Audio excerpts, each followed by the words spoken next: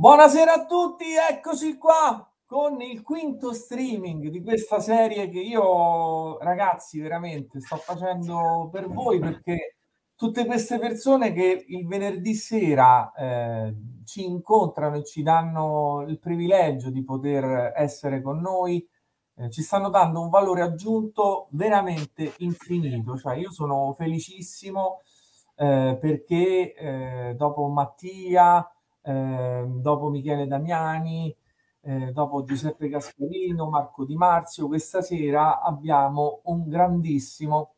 E dovete pensare una cosa, io penso sempre all'incontro che ho avuto con Francesco come a un'eruzione vulcanica, e cioè eh, il nostro incontro è stato un incontro molto forte, nel senso che noi eh, abbiamo avuto un confronto che lo paragono un po' come un'eruzione vulcanica, però eh, io devo dire la verità, eh, si parlava di Via degli Inferi, della mia ricostruzione 3D, ehm, però ehm, a- allora ogni volta che eh, c'era uno scambio con lui, eh, io mh, non lo so, c'era un qualcosa che eh, veramente mh, mi faceva, mi, mi stava facendo capire che dall'altra parte avevo una persona di spessore eh, è una persona ehm, che aveva qualcosa da dirmi, aveva qualcosa da trasmettermi. Eh, io in genere dico a, a, tutte le persone che penso che ne sappiano più di me, allora aiutami a dare un valore aggiunto ai miei lavori. Ma con Francesco devo veramente dire, ecco perché ho fatto il paragone con l'eruzione vulcanica, che questa eruzione vulcanica, che succede? Dopo un'eruzione vulcanica nasce la fertilità, nasce il verde, eh, nascono gli alberi, le piante, il terreno diventa fertile e il nostro rapporto è stato esattamente questo, perché poi dopo questo confronto eh, lui ha capito che io insomma cerco sempre di mettermi in discussione, non considero mai concluso un lavoro, cerco di migliorarmi sempre, ne è testimonianza il fatto che, pensate, ieri sera stavo facendo, eh, ho finito Circo Massimo, Francesco mi ha dato una rilettura diversa eh, di una parte del Circo Massimo che io ho fatto in maniera diversa e io gli ho promesso e lo prometto davanti a voi che farò anche la versione con la posizione del Pulvinar dall'altra parte, cioè quindi per dirvi e ehm, Francesco, ecco, molti di voi non lo sanno, certamente è stato eh, anche per quanto riguarda il Circo Massimo una risorsa preziosa e fondamentale. Se a giorni riuscirete a vedere il Circo Massimo ricostruito da me, è anche per merito di quest'uomo. Um, e questa sera è ospite negli streaming di Flipper Prof e io lo voglio salutare con tanta ammirazione eh, e veramente lo ringrazio infinitamente per essere qui con noi questa sera. Buonasera Francesco. Allora, buonasera, saluto te Marco e tutti gli ospiti che ci stanno guardando. E dopo questa presentazione, cosa dire? Ci siamo conosciuti, come dicevi tu, in una sorta di scontro perché aveva messo un po', diciamo, era, aveva fatto una ricostruzione su un monumento che, conosce, che conosco, conoscevo molto bene, che era la Via degli Inferi a Cerveteri. Sì. E quindi non mi sono trattenuto, non sono riuscito a trattenermi, ma, ma, ma come de- ha detto lui, da questo incontro eh, è nata una, non la definirei una collaborazione, ma una, eh, uno scambio di idee continuo, perché Marco, come sapete bene tutti, è lui il vulcano in eruzione che, che in una maniera incredibile produce queste ricostruzioni eh, archeologiche incredibili. Con, eh, peraltro molto belle e, e poi con una quantità eh, e una velocità eh, stupefacente. Sì, beh, ecco, eh, adesso tu tiri fuori io uno dei prodotti. Sì, che sarà oggetto della discussione. Però ecco, ehm, io questa sera ho ideato un po' questa scaletta di domande, anche tenendo conto un po' delle curiosità di qualche alunno, eh, qualcosa ecco, legato a determinate tema- tematiche. E Però tu non hai detto, scusa che ti interrompo Marco, sì, però preso dalla, eh, da questo episodio iniziale della nostra conoscenza non hai detto bene perché, perché sono qua e perché eh, e su quale argomento oh, si, si, si tratterà. Sì, questa sera si tratterà principalmente degli Etruschi, della civiltà etrusca.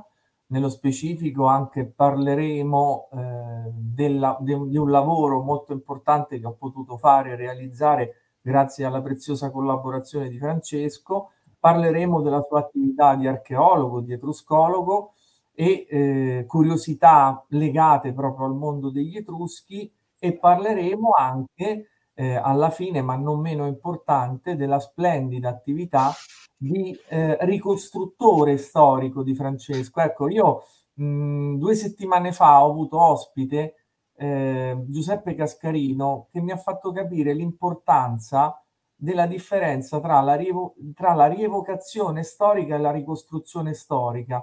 E quando si fa eh, ricostruzione storica si va ad un livello di ehm, di immedesimazione e di rivivere un qualcosa ancora più profondo. E devo dire che veramente eh, ho capito che Francesco è, è, un ricostruttore storico, quindi è un artista ricostruttore, perché come potete vedere alle spalle eh, ci sono alcune delle sue opere, Elmi Corinzi, Etruschi, Romani e quant'altro, eh, realizzate una precisione e una storica veramente impressionante. Cioè Francesco parte proprio dai eh, reperti eh, archeologici e cerca di ricostruire poi quello che doveva essere magari un elmo Montefortino oppure un elmo Corinzio appunto, ma di queste cose poi parleremo nel corso dello, dello streaming.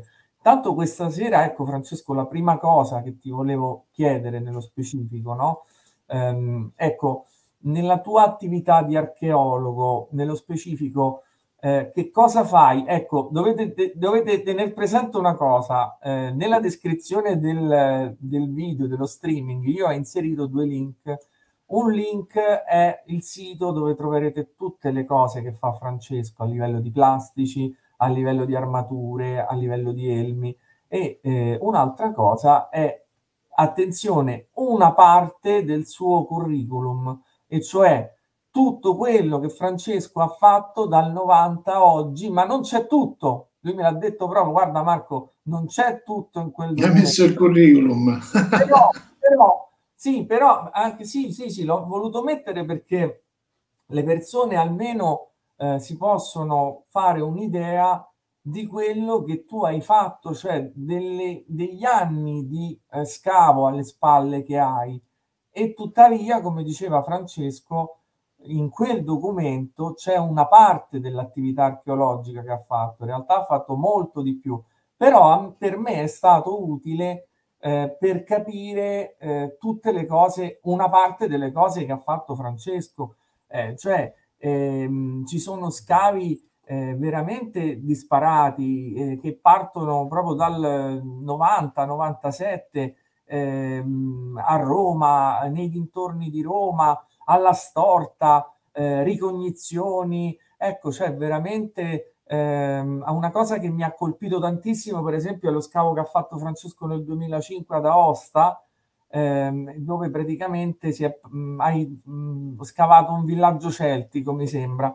E quindi ecco, le persone tramite questo documento certamente possono capire lo spessore professionale di questa persona, oltre che artistico, perché Francesco poi vedremo nel corso dello streaming è un artista veramente incredibile. parlaci un po', Francesco, ecco, della, della, tua attività di archeologo. Sicuramente io ho detto. Ecco, no, io vorrei dire questo: che eh, non voglio fare una biografia, un'autobiografia, però voglio dire che il mio approccio con l'archeologia è, è, è rivolto molto verso la eh, divulgazione di qualità, cioè quello che faccio o gli argomenti di cui che conosco ho, um, voglio che vengano conosciuti al meglio da, da più gente possibile. Nel nostro campo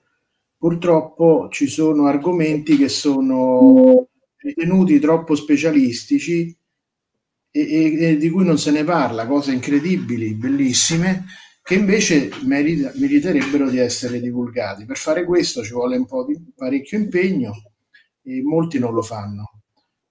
Questa visione, cioè gli archeologi che si danno quindi alla divulgazione non sono molti, ma questa eh, ora Marco ha, ha parlato del mio, del mio sito Efesto perché proprio lì si vedono le ricostruzioni fatte per i musei che sono volte proprio a spiegare, a far capire alla, alle persone, a chi è appassionato, eh, quali, eh, come un archeologo raggiunge l'obiettivo di tutto il suo lavoro. Cioè la ricostruzione è il coronamento del lavoro eh, di ricerca archeologica e non tutti ci arrivano, molti si fermano diciamo alla, alla fase della documentazione dei reperti, dei, dei frammenti. La fase finale, quella della comprensione e della ricostruzione, quindi non, non viene spesso raggiunta. Ecco, il mio sforzo è stato colto anche da, dai musei che eh, hanno accolto i, i, lavori ricostruttivi che ho fatto, che faccio, e eh, li propongono quindi al pubblico. Ecco, quindi se siete appassionati a ricostruzioni di cose archeologiche, di monumenti, di oggetti, potete vedere un, uh, appunto in questo, in questo sito una cosa diciamo professionale ma aperta al pubblico di, comunque di qualità museale, cioè non è, non è paccotiglia, non sono cose di, diciamo, di basso livello. Incredibile, cioè io vedo delle cose sul sito di Francesco veramente impressionanti, cioè veramente Questo qui non è che dobbiamo fare la sponsorizzazione, ma oggettivamente, veramente è un luogo comune, però veramente diamo a Cesare ciò che è di Cesare, perché questi, queste opere sono di eh, una eh, difficoltà estrema. E lo dicevo a Francesco, lo dico più volte a Francesco, mentre il costruttore 3D ha in qualche modo il vantaggio eh, di poter anche nascondere con alcuni mezzi informatici l'eventuale difetto, l'eventuale cosa eh, imperfetta, un muro leggermente inclinato, un qualcosa, una casa storta, un tetto non proprio perfetto, Ecco, diciamo che Francesco questo non se lo può permettere e guardate la bellezza di queste opere. Io capisco Francesco perché... Eh, fai vedere l'originale? Sì. E poi, ecco, questo è l'originale, un po' più scuro perché è ossidato dal tempo. Poi c'è la Francesco. Questo, in questo momento questo è in mostra al Museo Nazionale di Napoli insieme ad altre cose. Sì.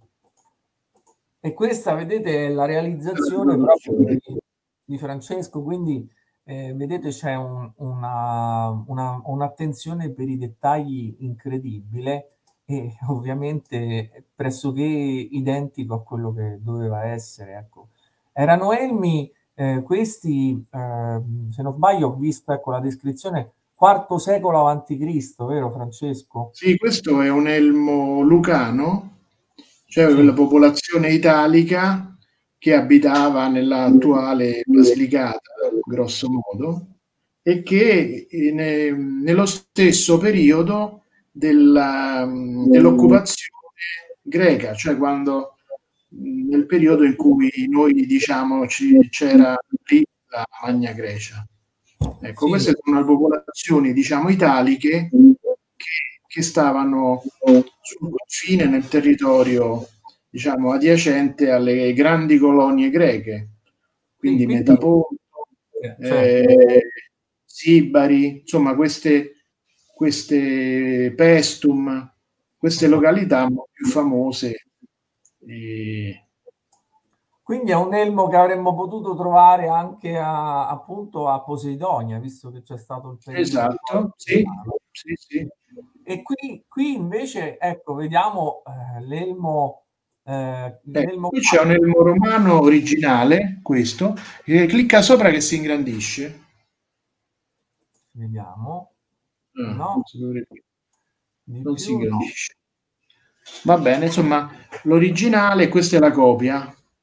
Questo è uno dei rari esempi di elmo completamente conservato, quello di prima, e questa è la, diciamo, la versione, la copia. Questo è stato trovato eh, in Svizzera in un castrum eh, che, che, presidiava eh, il territorio celtico. Eh, ed è più del grosso modo del, dell'età di, eh, di, Nerone, Giulio Claudio. Sì, sì. E guardate, cioè da questi reperti eccezionalmente conservati si possono, che sono tantissimi, noi in Italia non ce l'abbiamo sì. eh, perché non c'era bisogno dell'esercito certo. nel periodo imperiale in Italia, stavano, tutte le truppe erano ammassate sui confini, eh, in particolare in Germania, eh, lungo il Reno, e, e, le truppe erano presidiare e difendere dalle, da, difendersi dalle orde barbariche che premevano dall'est europeo per venire in, in Occidente. Ecco, certo. questi erano i nostri soldati. Certo, eh sì, sì, sì. Vedete no, quella sorta di forchetta sopra aveva il pennacchio e tra l'altro è quello che si intravede dietro di me, vedete, è lo stesso elmo, questo qua. Quella, quella, quel pennacchio rosso è, è montato sull'elmo. Sì, fantastico. No, tra l'altro, ecco, mi è venuto pure in mente, se non sbaglio, vero Francesco, anche a Vindolanda sono stati trovati diversi reperti di frontiera, no? appartenenti ai soldati romani, mi sembra addirittura pure delle, delle lettere. E questi elmi che eh, stiamo vedendo qui ricostruiti da Francesco, e mi rivolgo ai miei alunni, sono quelli che abbiamo visto in qualche documentario. In qualche... Però posso dire una cosa, questi di Francesco sono molto più belli perché sono veramente curati nei minimi particolari, impressionante, è veramente impressionante. vedete, lì metto le foto dell'originale, quello più scuro, e della copia che è... Sì, eh, sì, sì, sì. Ecco, ecco questo, ah, beh, beh, questo elmo è interessante perché da quella forma che abbiamo visto prima, molto aperta con la faccia diciamo esposta, verso il periodo eh, tardo dell'impero, qui siamo nel, proprio nel periodo di Costantino, sì. il famoso eh, imperatore che eh, nel 313 fece la, eh, rese la, la, religione cristiana eh, non più perseguitata ma tollerata. Sì. Ecco, i soldati da quel tipo di elmo passarono a utilizzare, a preferire quest'altro, che è molto chiuso, molto più protettivo, vedete anche una protezione per il naso, e, ed ha, eh, questo, in questo caso è di un ufficiale, quindi ha eh, molte decorazioni eh, che eh, lo arricchivano e lo rendevano, e la superficie poi era dorata, oro, proprio oro vero. E, uh, questo è venne copiato da, dal, dall'Oriente, è un tipo persiano. Ah. Sì, sì. No, mi sembrava pure, correggimi se sbaglio, mi ricorda un po' anche vagamente ehm, quel, quell'elmo sassone che ogni tanto mettono nei libri, che si vede ogni tanto, sai, come la maschera di Agamennone, un pochino mi ricordava anche questo tipo di impronta, però probabilmente ecco sarà no, stato... questo tipo poi rimane per, per, il Medioevo, per buona parte del Medioevo rimane questo tipo, che sì. appunto venne dagli antichi dei romani. Ora è interessante questa immagine, guardate le decorazioni, è interessante questo tipo di elmo perché non viene mai proposto nei film come elmo romano.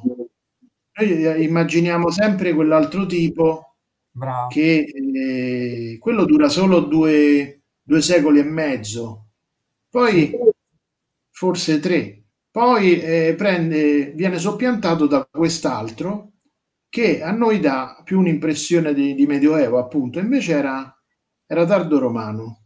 Sì, no, ma Francesco, ma eh, guarda, su questa cosa sfondi una porta aperta perché purtroppo eh, a volte i mezzi di comunicazione contribuiscono a creare degli stereotipi, nel senso che eh, quando si fa un qualcosa sui romani, eh, ne parlavamo anche con Giuseppe Cascarino, eh, si utilizzano sempre gli stessi armamenti per 1100 anni. Ultimamente ho visto che non è più così, però fino a insomma una quarantina di anni fa, quando c'erano i famosi Peplum, ecco, vedevamo il film su Costantino e c'era ancora l'elmo eh, di Traiano e quindi si commetteva ecco, un errore storico. C'è un po' più di attenzione, un po'. Sì.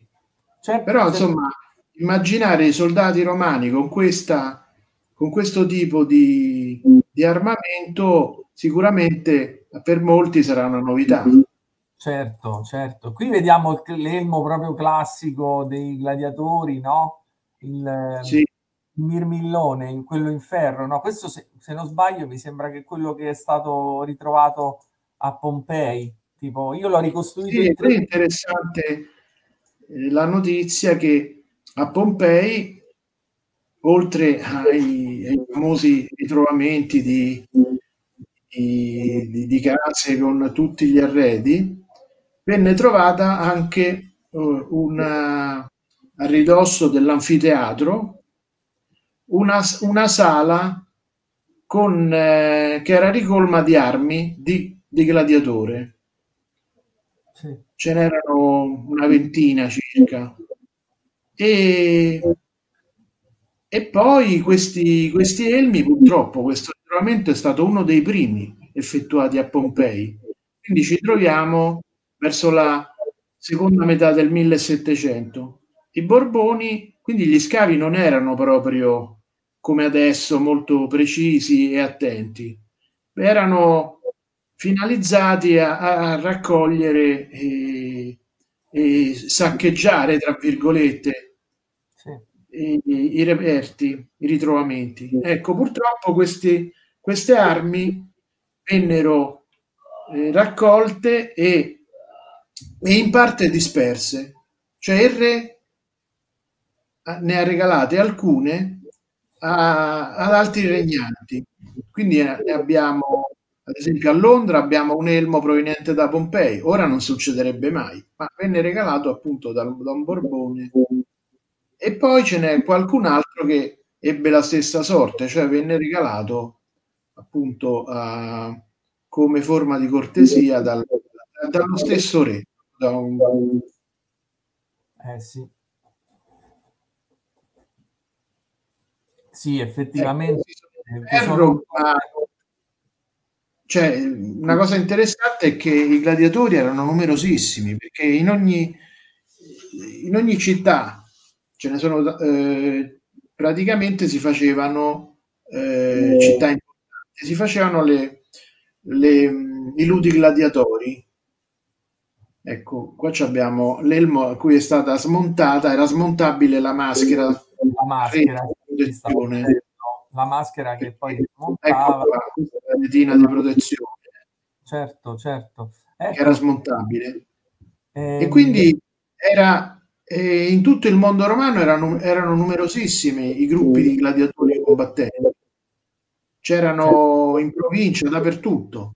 E, ed erano eh, molto famosi presso il popolo perché tutti cercavano come noi adesso andiamo al cinema a vedere lo spettacolo, e all'epoca si andava molto volentieri a vedere in anfiteatro, nell'anfiteatro della città questi combattimenti.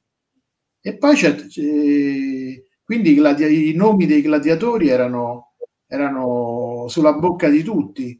Eh sì, si vedevano anche statuine che troviamo spesso negli scavi che raffigurano le, le diverse armature dei, dei gladiatori.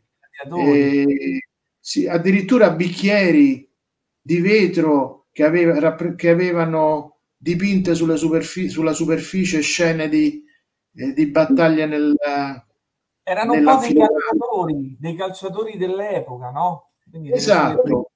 Sì, sì. I gladiatori insieme ai, ehm, agli aurichi, cioè quelli che guidavano eh, nelle corse dei carri de, de, del Circo Massimo, Ecco, i gladiatori e gli aurichi erano i personaggi più famosi che, che tu, di cui tutti parlavano, facevano scommesse, insomma c'era e di cui di molti conosciamo i nomi ed erano quelli più fortunati, quelli più bravi erano ricchissimi, sì, ricevevano sì, delle paghe eh, eccezionali.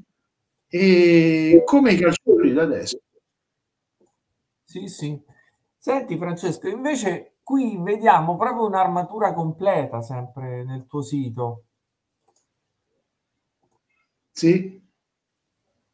Questo è sempre ecco, una... Questo, invece, questo qui invece è un soldato romano di età repubblicana, cioè eh, questo tipo di, ar- di armi le, le, le, indossavano prima della nascita di, Cristo. Di, di Cristo. Sì quindi nel periodo, diciamo, nei secoli prima di Cristo. Sì, è un sì. tipo di armatura eh, diciamo, di, di, di, derivazione greca, ma sostanzialmente eh, modificata da, dagli Etruschi. Era particolarmente efficiente e i Romani con queste hanno fatto diverse conquiste eh, importanti. Tra, con queste armature hanno conquistato praticamente tutta l'Italia e poi hanno, hanno, hanno combattuto le guerre puniche. Sì, sì, sì. Beh, questo Quindi, sembra quasi un elmo. Come? Sembra quasi un, un elmo montefortino questo. No, questo è un montefortino, sì un Montefortino di vario tipo. Adesso qui ne ho uno. Ecco qua. Vedete? Vedete? È simile a quello che sta nell'illustrazione. E questo rappresenta, è la copia di un elmo eh, che è stato trovato proprio sul, eh, in un luogo dove avvenne una famosa battaglia, la battaglia delle Egadi, tra eh, una battaglia navale che si svolse tra romani, romani contro cartaginesi e in questa battaglia persero la vita tantissimi eh, soldati, vennero affondate numerosissime navi di cui sono state trovati i resti eh, negli ultimi anni. Sì, tra l'altro Le, decisiva no, della prima guerra punica.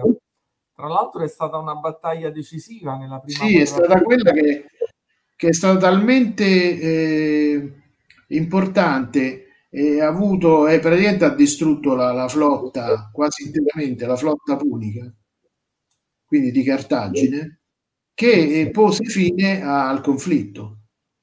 Esatto, sì, sì, sì, è stata proprio la battaglia decisiva, vabbè, poi c'è stato Annibale, eh, tutte le altre vicende belliche successive, però quella è stata proprio la, una delle più grandi battaglie, anche se poi alcuni dicono che per numero forse anche la battaglia, mi sembra, di Capo e Cnomo, eh, credo che sia stata ecco, abbastanza imponente a livello di numeri, però forse la battaglia delle isole Egadi. Ecco. Ma questa è impressionante perché sono state trovate proprio le tracce tangibili di questo scontro e la, eh, il ritrovamento di armi e parti di navi, in particolare i rostri di bronzo, ne sono state trovate una ventina, è una cosa, sono ritrovamenti difficilissimi da, da realizzare. Lì addirittura siamo arrivati a questi numeri e, e continuano a trovarsi elmi, spade, pezzi appunto di navi. Quindi ci, la, la, strage fu, grandissima. Senti Francesco, ti voglio fare una domanda fuori programma perché è una curiosità che ho e che chiedo spesso alle persone, agli addetti ai lavori ehm, ed è legata proprio al, al numero di truppe eh, che gli storici spesso dichiarano all'interno delle fonti. Cioè, io vado a leggere Arriano che parla della battaglia di Gaugamela con un milione di persiani.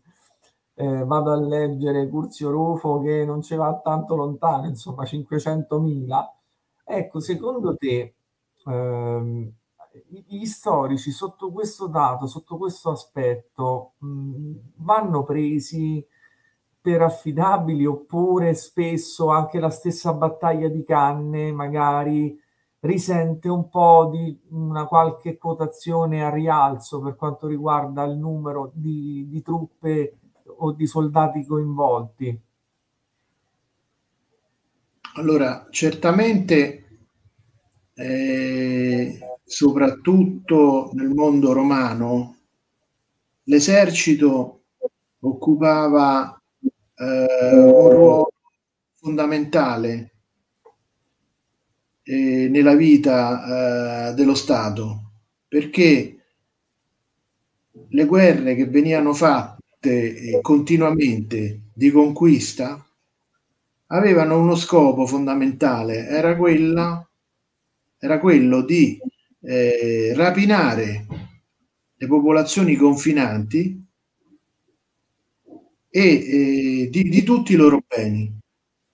E, e quindi eh, foraggiare l'economia romana che evidentemente eh, aveva bisogno di risorse dall'esterno. L'economia antica non riusciva a sopperire a tutti i bisogni non c'era un surplus, ecco questo concetto sufficiente. Quindi era, le, purtroppo bisogna ammettere che i romani camp- campavano proprio di rapina. E non solo, non solo di, diciamo, di, di risorse eh, economiche, ma anche di persone rese schiave e poste alla base della produzione eh, di, di beni. Quindi gli schiavi servivano per lavorare per conto dei romani e quindi incrementare ulteriormente la ricchezza dello Stato. Quindi questa è una considerazione importante. Lo Stato quindi metteva moltissime risorse e molte persone a servizio dell'esercito. Quindi poi l'esercito era composto non solo dai cittadini romani, dai soldati di professione romani, ma eh, anche da foltissime schiere di, di, soci, cioè di alleati e altre eh, truppe che erano costrette per, eh, a, a, schierarsi insieme a Roma in quanto alleati.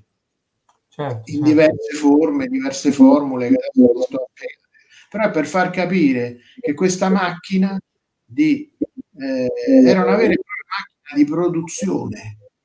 L'esercito serviva per foraggiare l'economia.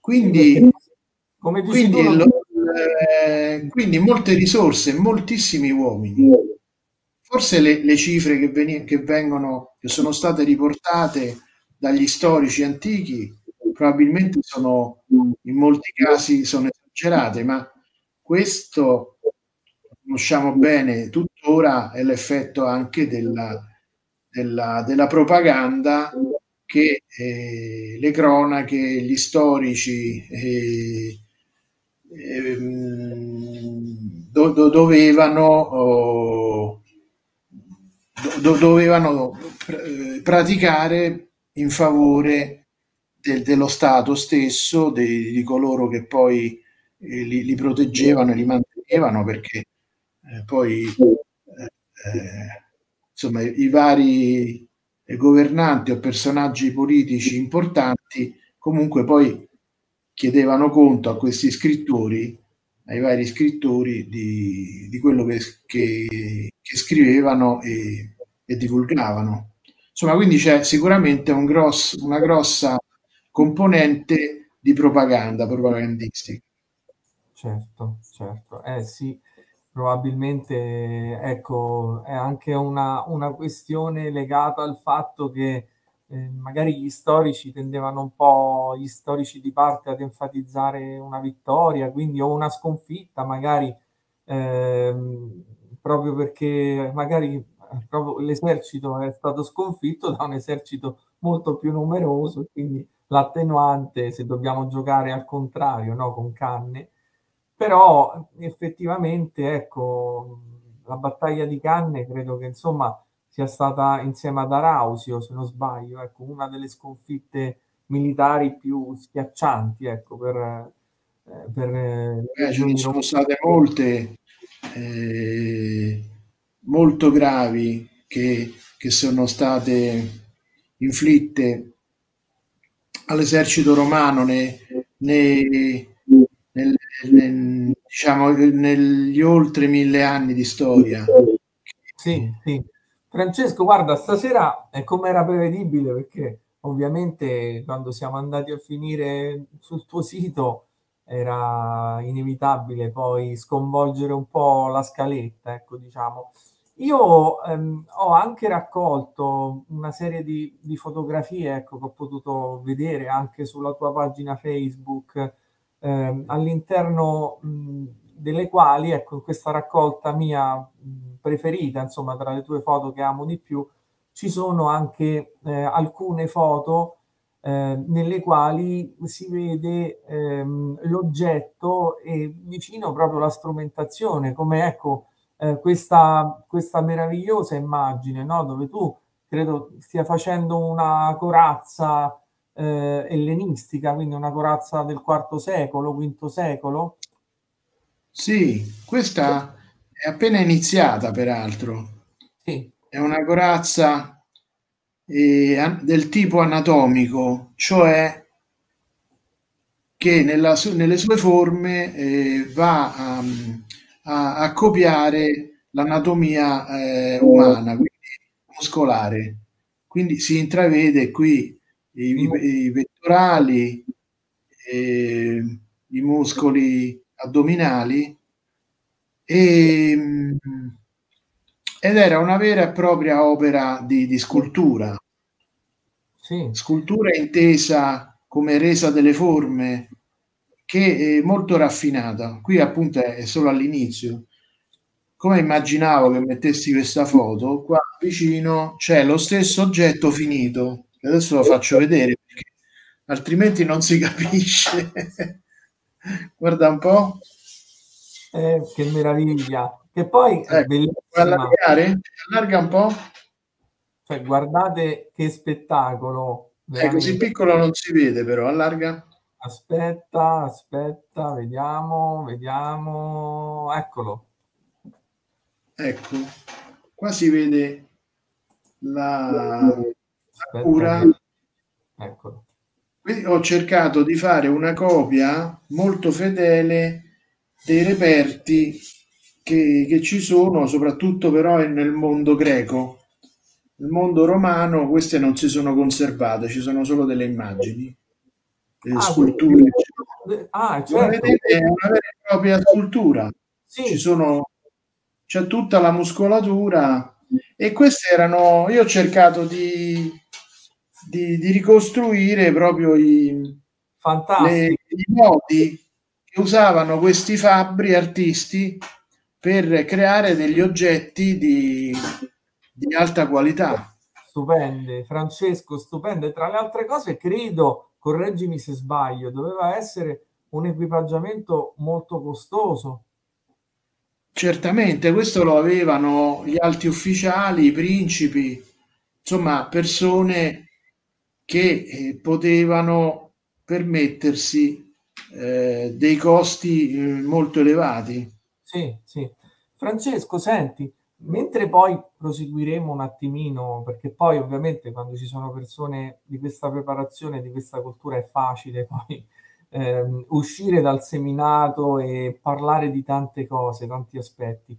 Io vorrei farti una domanda che ho fatto anche agli altri miei ospiti ed è, mh, mm, noi con gli altri ospiti abbiamo parlato magari di quel film nello specifico, quanto eh, può, può, essere attendibile, quanto ecco, possa, possa insegnare, quanto possa dare a livello ecco, di ritorno storico. E io non, questa sera con te non voglio fare questo discorso, perché magari forse è anche un po' antipatico, dirà ah, quel film è brutto, quel film è...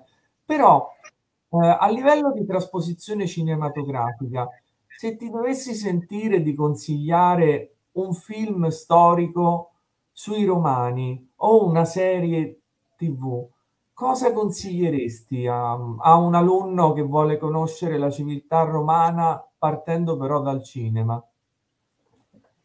Beh, è un po' difficile perché non, non seguo molto queste di, le, le serie, soprattutto quelle più recenti.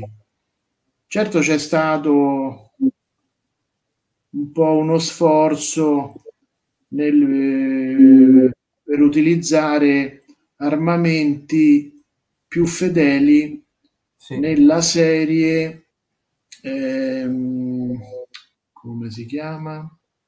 Che hanno fatto l'anno scorso, due anni fa. Ah, Barbaria. Eh, quello su, sulla, che c'era la battaglia di Teutoburgo. Barbarians. Quello di Netflix. Sì, ho visto solo un paio di puntate. Sì, e di so per certo che sono state utilizzate in, que- in, quel- in quell'occasione armi e armature fornite da eh, un gruppo di rievocazione storica che quindi studia e cerca di eh, munirsi di riproduzioni fedeli e quindi li hanno noleggiati al cinema e le hanno, le hanno utilizzate. Sì. Questo ha, ha permesso di avere dei materiali di qualità sicuramente eh, molto elevata.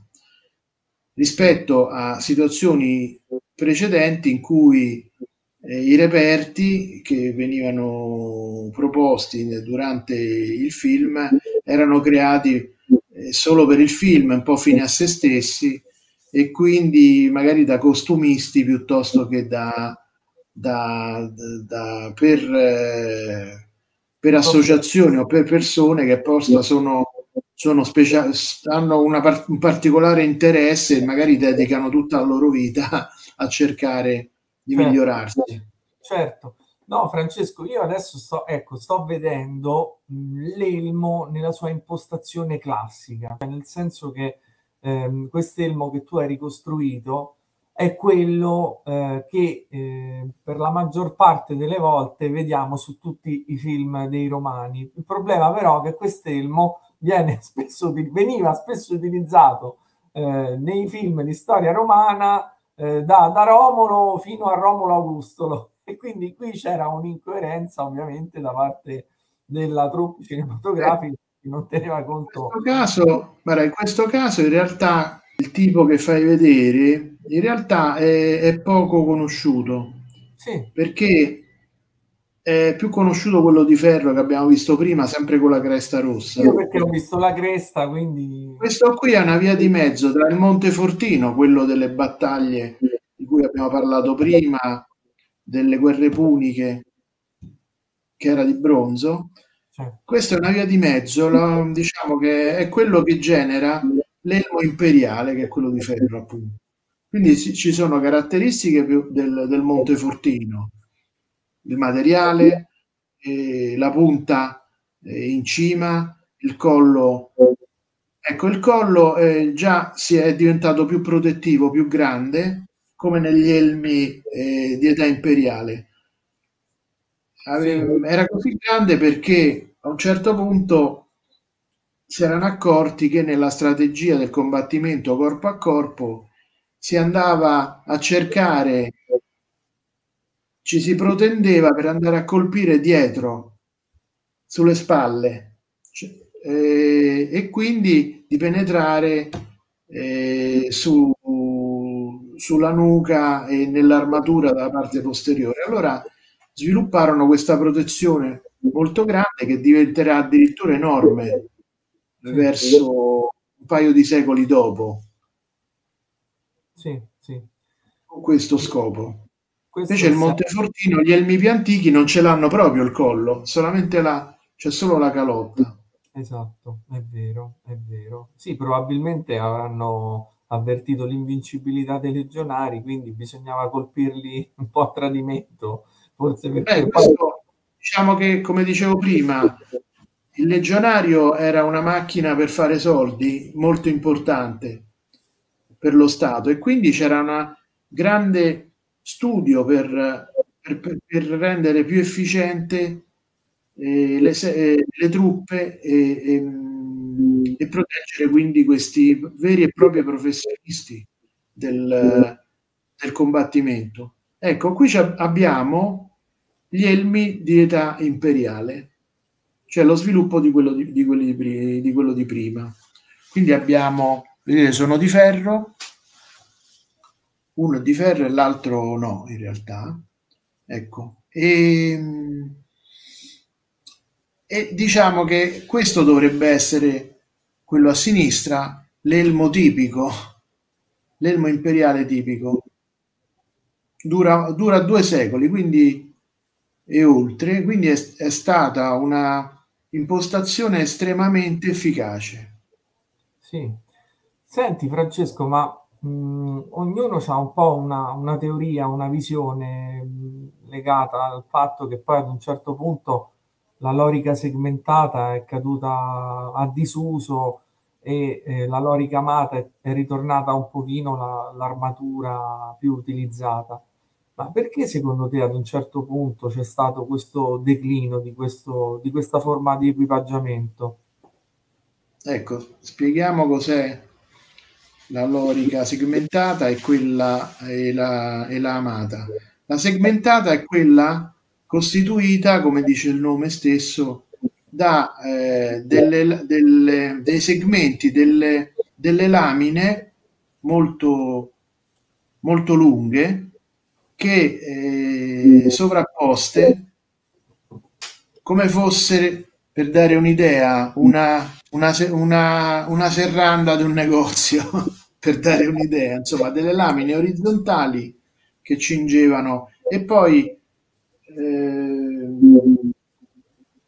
eh, avevano degli snodi e permettevano al soldato di muoversi e anche delle protezioni molto grosse sulle spalle. E, mh, sicuramente questa comunque hanno convissuto la lorica amata e quella, e quella segmentata, non venne mai abbandonata la, amata. La amata è quella che invece è costituita, è la maglia di ferro, quindi costituita da piccoli anelli di ferro che eh, in una sorta di tessuto eh, vanno a, a costituire eh, la- un- una sorta di, di- di vestito. Eh, diciamo, da un certo punto di vista è più comodo dell'altro tipo di armatura, più rigido, però comunque pesa molto, è molto pesante, perché sono migliaia di anelli di ferro, anche se sottili, ma poi ah, vanno poi a certo, costituire un peso non indifferente. Certo. Ecco, a un certo punto, il- con ogni probabilità, intorno alla metà del terzo secolo d.C., quindi nell'età eh, medio-tardo imperiale, c'è stata la necessità di semplificare anche l'armamento, ma soprattutto, alcuni dicono, per, eh, per, ehm, per motivi di, di costruzione, cioè era troppo laborioso costruire armature rigide troppo in pezzi unici, cioè in un, un unico pezzo di ferro. Per esempio, questo elmo appunto imperiale che il, eh, questo che sta a sinistra questo sarà costituito da cioè questo più, saranno 30 o 40 pezzi assemblati compresi i chiodi quindi molto modulare è, è molto difficile vi assicuro perché l'ho fatto fare in modo che tutti questi pezzi coincidano e si vadano a incastrare perfettamente. È un lavoro molto diciamo, impegnativo. Loro lo facevano in serie praticamente, comunque è sempre un, un grosso impegno. A un certo punto, per semplificare, sono passati altri tipi di elmo eh, molto meno eh, articolati Infatti questo qui, Francesco, eh, che indossi, eh, forse magari sbaglio, forse è, è successivo a, a, questi? Sì, questo, questo qui è, è, una ricostruzione ipotetica fatta da un archeologo inglese che ha, ha trovato dei frammenti di questo elmo, che eh, è una sorta di sì, è l'evoluzione di quello, di quello precedente, di quello imperiale. Quindi ha una calotta, in questo caso unica. Sì. Spesso invece è fatta da due metà, due metà inchiodate, sì. che facilitava sicuramente la, la lavorazione. Ecco, poi No, io questo, questo elmo l'ho visto molto simile, per questo che ti ho chiesto successivo. Ehm, nel film King Arthur c'è una scena eh, dove si vedono, si vede un patrizio, un nobile romano che abitava in Britannia e eh, a un certo punto del film compaiono due soldati alle dipendenze di questo nobile proprietario terriero della Britannia e indossavano due elmi molto simili a questo qui, però il film lì in questione è ambientato, se non sbaglio, insomma, al quarto, quinto secolo, perché si rifà alla leggenda di Artorius, Artorius Castus, mi sembra una cosa del genere. Sì, sì. Che mi sembra Beh, questo, insomma, questo qui è un elmo del uh, fine terzo secolo sì. Probabilmente è durato anche tutto il quarto secolo in uso questo, perché pare che abbia avuto una vita abbastanza lunga e travagliata questo esemplare. Sì, sì. Questo eh, l'ho voluto fare perché l'originale è molto mal ridotto e mancante di pezzi, quindi questa è una ricostruzione in parte ipotetica fatta sulle ipotesi di questo archeologo inglese comunque capace. Sì. E è, è interessante questa, questo tipo, valeva la pena di farlo perché in molti dipinti e raffigurazioni di eh, tardo antiche, quindi parliamo di quarto e anche quinto secolo, si vedono rappresentati questi elmi con questa, con questa apice particolare sormontata da penne questo ora è senza penne, ma si possono montare. L'originale aveva delle, delle penne verticali, e una, insomma un, un, bel cimiero ricco. Ecco, e questa era la base. E poi, ecco, quello che volevo dire, si vede come il collo è staccato, si intravede.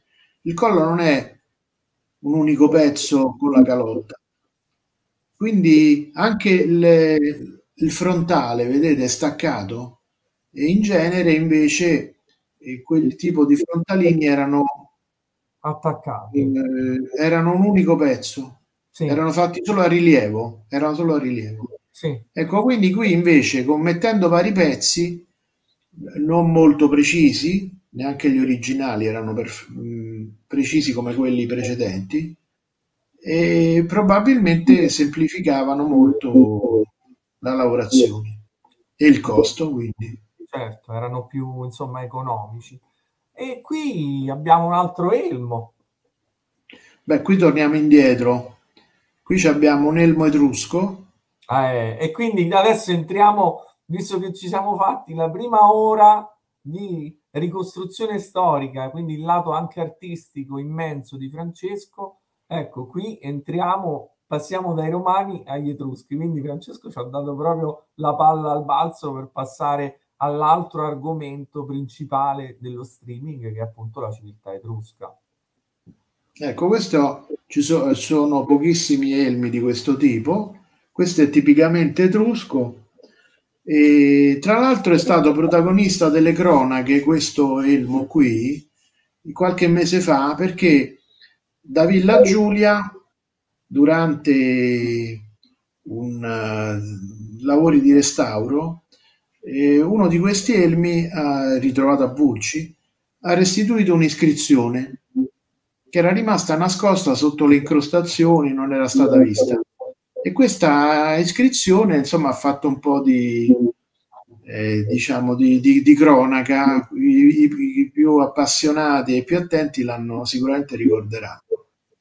E, e questo è un elmo proprio tipico de, degli Etruschi, non ce le hanno la, le altre popolazioni. Eppure, eh, e quindi probabilmente era stato proprio un'invenzione dei nostri amati progenitori che eh, volevano distinguersi dalle altre popolazioni e cercavano pure un elmo, diciamo, eh, anche protettivo. Questo è all'origine probabilmente dell'elmo montefortino che poi ebbe molta più fortuna. Certo, certo. Del IV secolo, insomma, eh, l'ho provato, come vedete, è molto comodo, insomma, sta, non è male, anzi è anche bello. Devo Vai. dire, adesso fa... se volete ve lo faccio vedere. Certo. Ecco. Anche perché così lo riconoscete.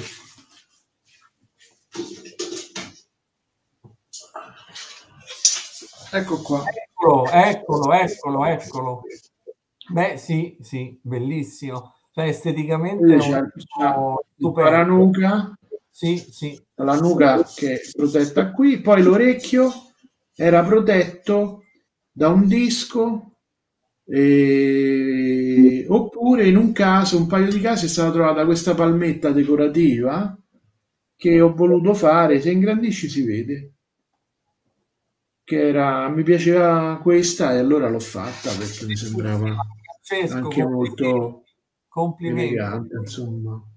Veramente bello, stupendo Francesco. Cioè, un, un, eh, questa, queste sono opere d'arte, veramente stasera abbiamo veramente l'occasione di parlare, oltre che con un grande archeologo, etruscologo, con un ricostruttore storico che fa delle opere incredibili, e non sono io a dirlo, è universalmente riconosciuto veramente anche come un grande artista di queste splendide opere.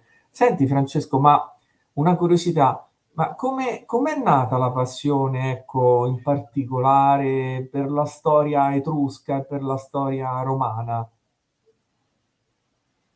Beh, diciamo che nasce intanto dal fatto di abitare in un territorio archeologicamente eccezionale che è questa di Roma e, e del Lazio che che, mm, che non può far altro che stimolare continuamente la curiosità de, di quelli che sono più propensi a osservare e lo strabordare di, di, di, di, testimonianze, insomma, sin da piccolo mi ha, mi ha incuriosito.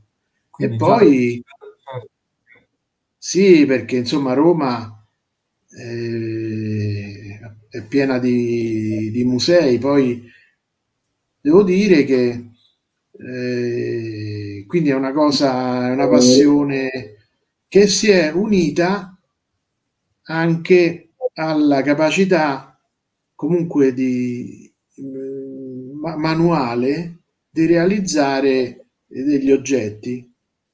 Quella invece è una, diciamo, un'eredità eh, genetica della famiglia perché so, i miei avi, insomma, da, da generazioni e generazioni sono eh, stati artigiani di, di, di, di, varie cose. Quindi sì, ci poi... vuole anche, ovviamente l'estro è un po' è, è innato. Io non so come ho unito le due passioni, cioè la storia e l'archeologia con, con la manualità, ma non tanto per scimmiottare, insomma, per fare delle copie così, eh, tanto per averle. A me incuriosiva il modo, le modalità con cui eh, la, le tecniche con cui gli antichi potevano riuscire a realizzare certe cose. Quindi la prima curiosità, la prima molla è stata quella di, di capire come potessero fare, quali fossero i materiali, le cose.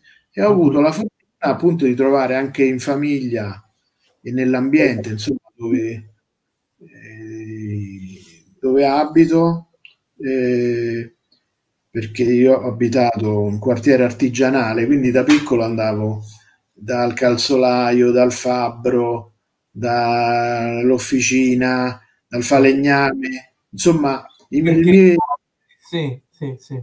Mi, mi, mi, suscitavano enorme curiosità questi, questi lavori, questi, che poi si può dire so, sono spariti e quindi eh, l'ultima testimonianza l'ho raccolta io, bambino, che, che osservava questi uomini ormai da soli, che non, non trovavano nemmeno degli aiutanti, che man mano hanno chiuso e io ho un po' osservato e raccolto quello che potevo capire, quello che potevo utilizzare, insomma. Sei stato un po' come l'imperatore Claudio con la lingua etrusca, visto che è stato l'ultimo imperatore che conosceva l'etrusco, tu sei riuscito a vedere i, i segreti di questi ultimi grandi uomini, artisti e artigiani, no? Io ho cercato di capire cosa si era tramandato, era sopravvissuto attraverso questi artigiani del, dei saperi più antichi. Certo, Quindi certo. applicandoli per ricostruire altre cose e poi pian piano questa, questi esperimenti, queste cose qui sono diventati una, anche una professione perché eh, non, non, ha riguardato vari... soltanto gli armamenti perché qui vediamo anche ad esempio un plastico quindi altre opere. Sì, perché in realtà gli armamenti sono anche una passione più recente in precedenza facevo, ho fatto e continuo a fare ricostruzioni di monumenti archeologici quindi dai ruderi a tirare su e eh, ricostruire tramite lo studio e chiaramente le indicazioni e le, le discussioni con, specie, con, colleghi più specialisti dei singoli ambiti eh, a ricostruire i monumenti. Per esempio questa qui è una basilica che non esiste più, cioè questa è venuta giù, eh, questa a Ravenna, più precisamente a Classe. Eh, Classe era il porto di Ravenna, era il porto imperiale. E c'era un, un abitato piuttosto esteso ed importante e aveva varie eh, chiese.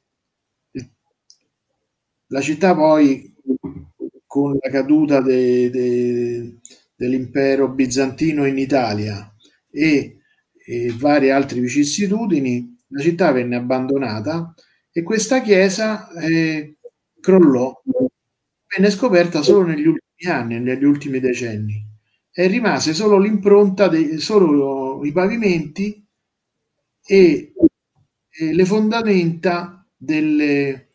Possiamo vedere. Ecco, questo edificio, studi- facendo confronti con gli altri simili in particolare Sant'Apollinare in classe, questo è uguale, che è molto famosa e conosciuta per i mosaici. Oh, ecco, sì. questa qui, quindi è stato possibile tramite questi confronti ricostruirla e riportarla in vita. Questo comunque è un piccolo plastico del lungo. eh, sarà 60-70 centimetri, non è grande. Quelli sono i pavimenti che sono stati trovati e che ho ricollocato nel, nella ricostruzione. Ecco, quindi questo è un esempio di come eh, un, un, oggetto, un edificio non più esistente riprende vita completamente.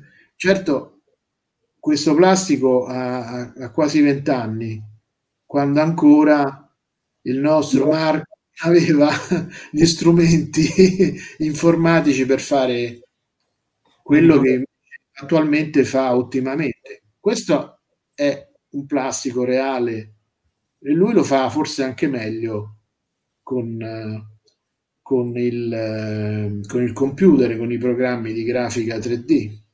Pensate comunque che un tempo insomma, i musei traboccavano di plastici proprio perché era l'unico modo per rappresentare la realtà. Devo dire che in certi casi alcune foto che ho fatto sembrano modelli 3D virtuali. Io, Come no, infatti, queste sono opere d'arte, cioè stanno su un altro livello veramente perché... quelle colonne sono alte 6 centimetri, quelle colonne.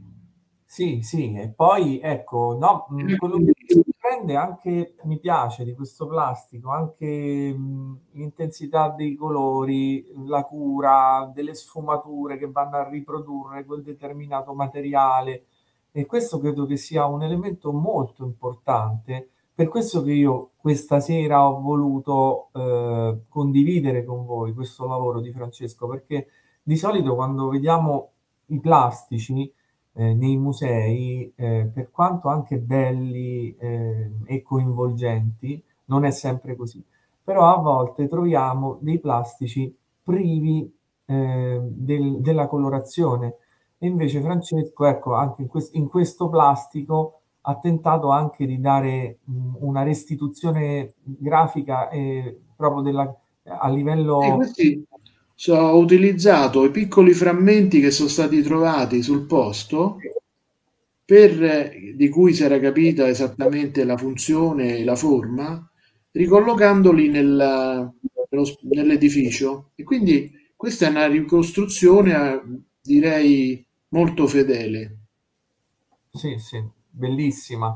Qui, qui torniamo agli elmi, ecco gli elmi della... E qui, cioè, di nuovo, ecco, voglio un attimino porre anche un po' di attenzione sui plastici di Francesco perché veramente sono ricostruiti con uh, una um, attenzione per i particolari eh, che è veramente fantastica. Tra le altre cose, io non te l'ho detto Francesco, però eh, con i miei alunni solitamente, ecco, con, in collaborazione con la collega di italiano, eh, proviamo sempre a fargli fare un plastico e l'ultimo che abbiamo fatto fare alla classe è stato quello del, di un borgo feudale. Quindi ovviamente prenderemo spunto dai tuoi lavori perché sono veramente meravigliosi. Senti Francesco, questo plastico che cosa riproduce?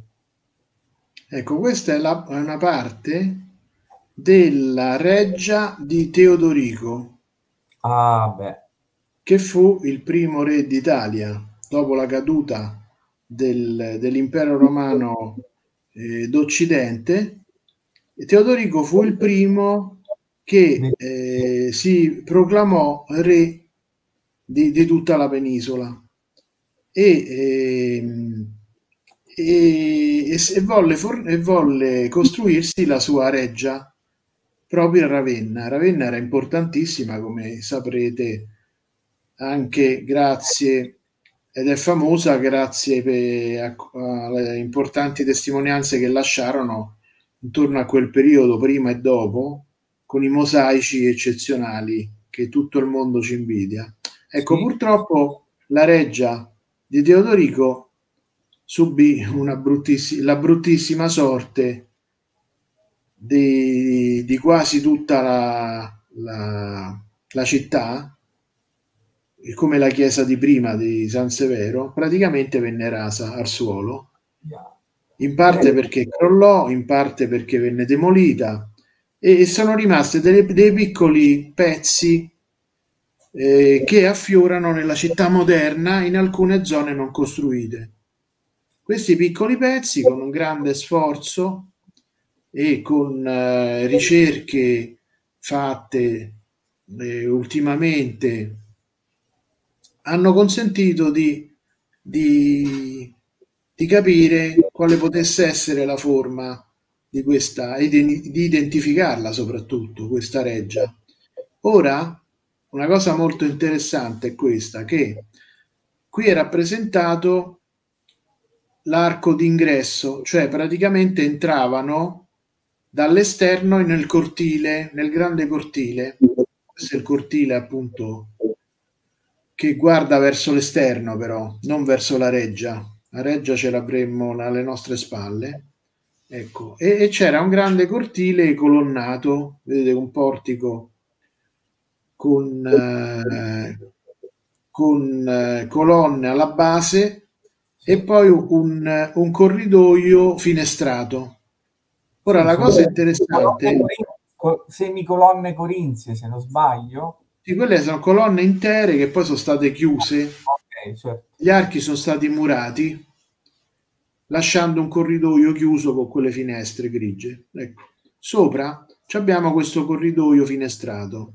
Ora, quello non è frutto della fantasia, ma ci siamo accorti, mi, mi sono accorto io, che, che quello è il... Eh, veniva perfettamente la ricostruzione in questo modo utilizzando la raffigurazione del, eh, della reggia del Palatium che sta a Sant'Apollinare Nuovo, i famosi mosaici che conoscono, cioè tra i più famosi. C'è proprio un, la rappresentazione del palazzo imperiale, c'è scritto proprio Palatium.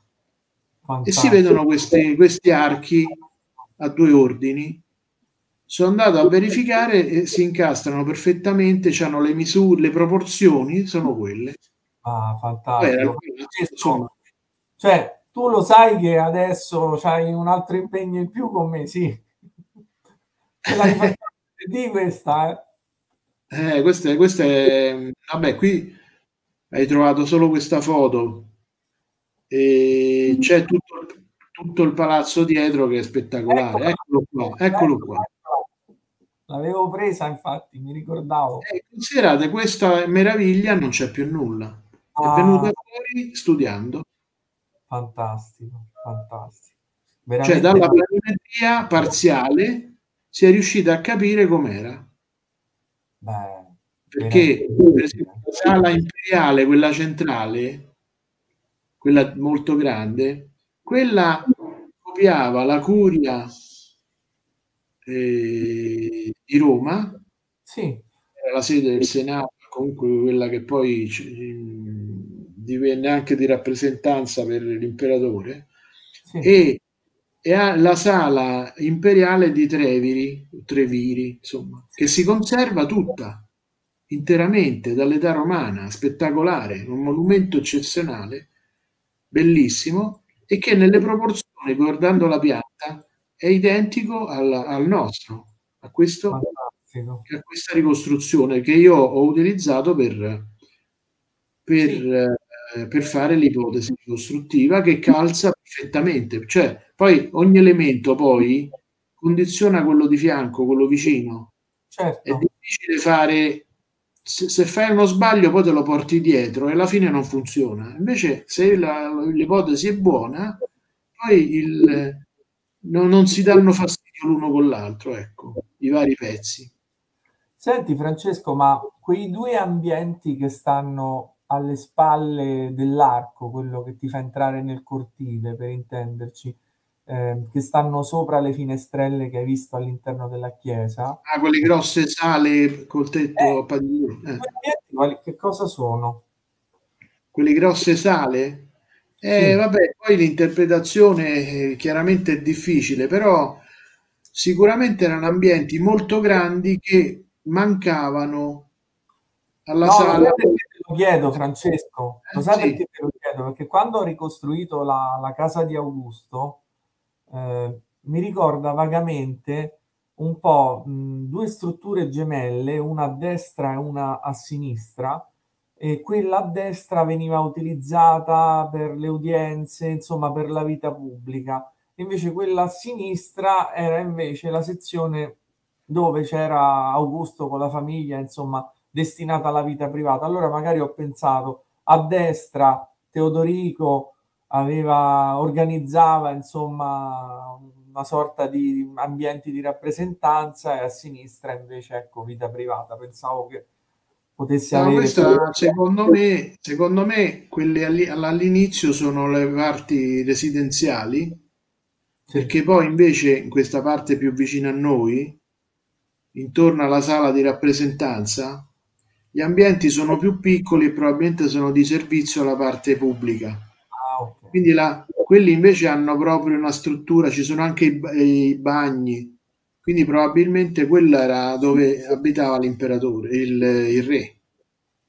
Perfetto, fantastico, fantastico, no, veramente. Eh, questo sta al museo, questo sta al museo di Ravenna class, di classe e veramente se andrò a, al museo di Ravenna andrò certamente a vedere. E qui torniamo, vedete, agli elmi.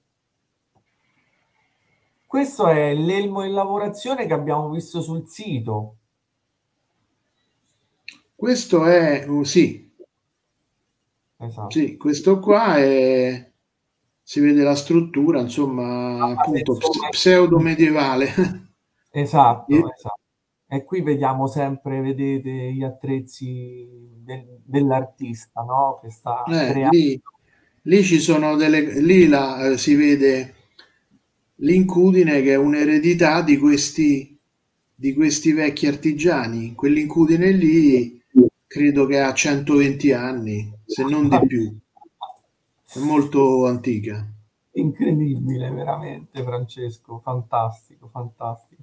Ecco, io adesso mi sposterei invece, se tu sei d'accordo. Eh, Ma sei sicuro che ci stanno sopportando ancora, che abbiamo de, de ancora del pubblico?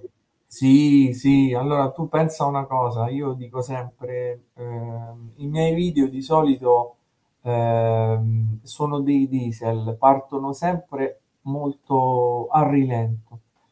Eh, ba- ti basti pensare, mi ricordo quando pubblicai il mio video sulla dinastia Giulio Claudia, eh, sempre fatto con il sistema che conosci, no? quindi 3D, poi realizzazione di queste figure stilizzate in movimento e mi ricordo che questo video appena pubblicato il primo giorno fece non più di 15 visualizzazioni, una cosa del genere, quindi non gli ha dato tanta importanza, ho detto vabbè, poi se lo vedranno, a chi gli serve se lo vede, perché tanto sta lì. Oggi questo video, a parte quelli che hanno superato le 100.000 visualizzazioni, che sono una decina, ha superato le 50.000 visualizzazioni ed è il video più visto su YouTube sulla dinastia Giulio Claudia. Quindi Francesco, preparati perché è capace che tra un anno certamente ti conosceranno ancora di più di quanto ti conoscono, forse anche per questo veramente eh, streaming che stiamo facendo, che è di una bellezza disarmante per una serie di motivi, veramente. E io adesso, ehm, proprio perché eh, mi sento un privilegiato di averlo fra noi questa sera, ovviamente non posso non parlare della, della collaborazione, di una delle collaborazioni che abbiamo fatto insieme, no? e nello specifico è la collaborazione eh, legata alla ricostruzione 3D eh, della, dell'area della Gina, quindi di questo tempio a Tarquinia molto importante e ehm, voi dovete pensare ecco che eh, io parlai a Francesco della, del fatto di voler ricostruire Tarquinia e ehm, ovviamente immancabile, non poteva non mancare l'ara della regina. E questa sera Francesco ce la potrà spiegare questa ara della regina. Perché è importante questo tempio? È importante perché, poi ovviamente Francesco mi correggerà se sbaglio, è il più grande tempio etrusco che sia stato mai scoperto. E eh, questa sera Francesco ce lo commenterà e lo dico proprio in pubblico perché veramente non mi stancherò mai di dirlo, se ha avuto tanto apprezzamento, è stato molto apprezzato e lo vedete così vicino alla realtà, io lo devo a quest'uomo perché mi ha dato tutte le indicazioni più importanti, peculiari e preziose per arrivare a questo li- livello proprio di resa realistica. E questa sera Francesco ci commenterà insieme l'ara della regina. Eccolo qua, Francesco. Parlaci un po' di questo tempio. Ecco, e metti l'immagine. Ce l'hai? Lo vedi? No, no, non è uscito. Ah, allora guarda, eh. Facciamo subito, interrompi condivisione, quindi andiamo su condividi, rifacciamo condividi schermo, condividi schermo, finestra, scheda di Chrome, eccolo qua. Eccolo qua Francesco, adesso lo vedi. Ecco, questo è il tempio più importante. Stoppami poi, eh, quando Sì, pensi... no, torna, torna ai resti. Vado ai resti, sì. Sì, ecco qua, fermati qua. Allora, questo è il tempio più importante di Tarquinia, che come sapre- sapete era una città eh, Francesco, fondamentale. fo- Francesco, fondament- sì, mi dicevi, mi dicevi se qualcuno ci stava seguendo e indovina, ci è arrivato un saluto da Chicago. Hello from Chicago. Penso abbiamo un spettatore da Chicago. Hello. Hello. Allora, beh, parlerà italiano perché altrimenti non potrebbe. Hope- Allora, dicevo, questa, eh, quest- il tempio di- della cosiddetta Ara della Regina, che è un nome ovviamente moderno, è, è un tempio, oh, il più importante di, di Tarquinia, la città eh, importantissima etrusca, che eh, trovava in questo tempio il, il culto principale. Le dimensioni lo, lo testimoniano, è veramente grande, si è costituito, adesso le, le misure non le ricordo a memoria, però ha un grande podio costruito a blocchi squadrati e eh, con, eh, che eh, destinato nella parte anteriore a lasciare una sorta di piazza sopraelevata antistante al tempio dove avvenivano eh, come anche nel mondo greco i sacrifici e, e i riti eh, legati al, um, al, alle cose religiose che avvenivano. Infatti nel tempio i, i, non, non, si facevano, come sapete, eh, attività religiose all, all'interno.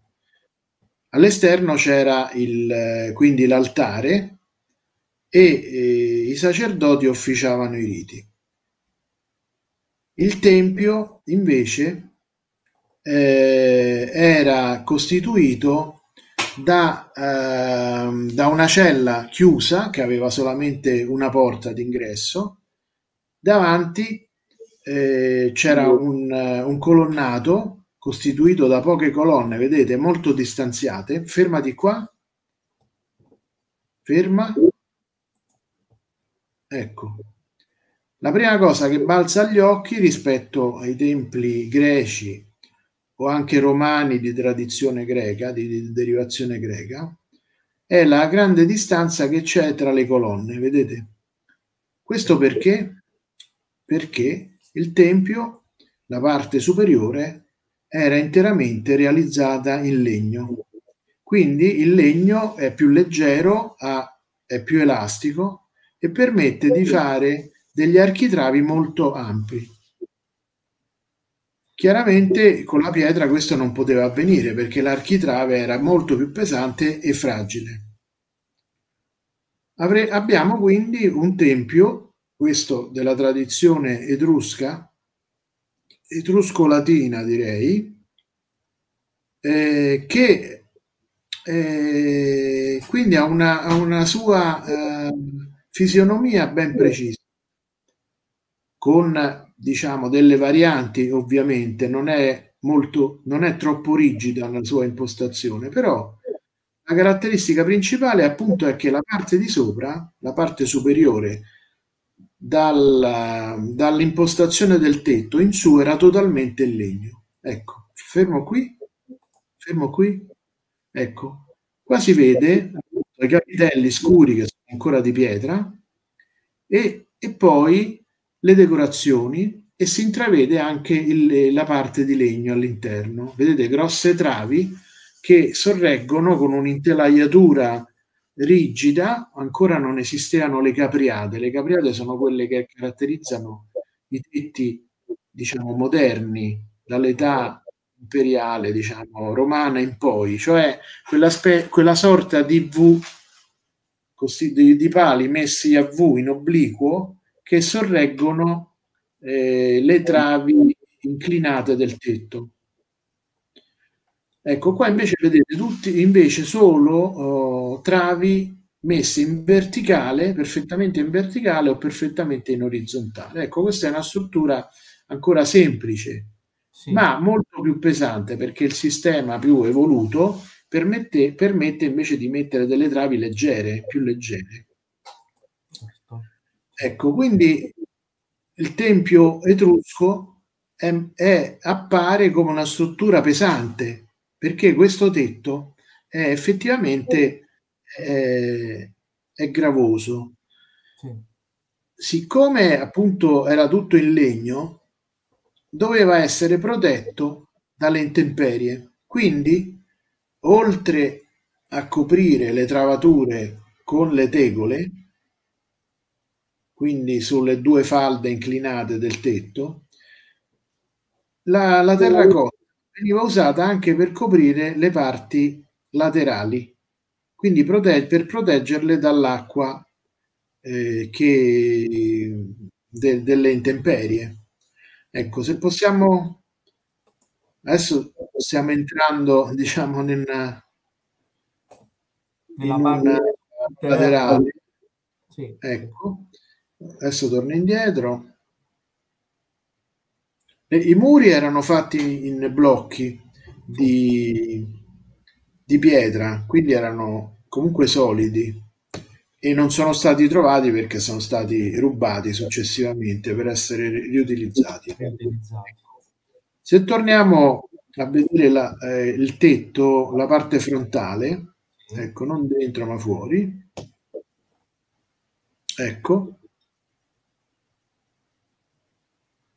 Ecco, vediamo un po', ti blocco. Bloccati, bloccati. Ecco. Allora, come dicevo, la, eh, le travi sono quindi protette da queste lastre di terracotta. Le lastre, per, sin dal, dal periodo più antico, vennero utilizzate, vennero decorate per arricchire insomma la, l'aspetto del, del, tempio, che comunque era un edificio importante, monumentale e, e, e doveva rappresentare eh, la ricchezza e la potenza della città che lo aveva dedicato. Cioè il tempio era una sorta di edificio di rappresentanza. Gli stranieri quando venivano in, nella città dovevano andare a rendere omaggio alla divinità e lì incontravano, potevano misurare la ricchezza e la potenza della città che aveva dedicato eh, alla divinità eh, tutte le, le, le, sue ricchezze più, più evidenti. Certo, certo. Un po' come il mondo Questo greco, no? Il mondo greco dove venivano accumulate nel tempio anche eh, le gioielli, eh, vasellami eh, preziosi, in metalli preziosi, eh, e comunque divenivano anche depositi del, dell'erario, come anche a Roma. Cioè il Tempio è il punto dove... L'Opistodomo, no? Del Partenone, che, dove c'era la tesoreria. La parte sì, a Roma, il Tempio di Saturno, c'era l'erario. Sì. Ed era uno dei templi più centrali. Quindi il Tempio eh, è il luogo per antonomasia dove si accumula e si, e si espone la ricchezza proprio per sottolineare la potenza del è un luogo di rappresentanza sostanzialmente, oltre che di, oltre che di religiosità. Oh, allora, le decorazioni quindi pian piano diventano sempre più ricche e più sontuose.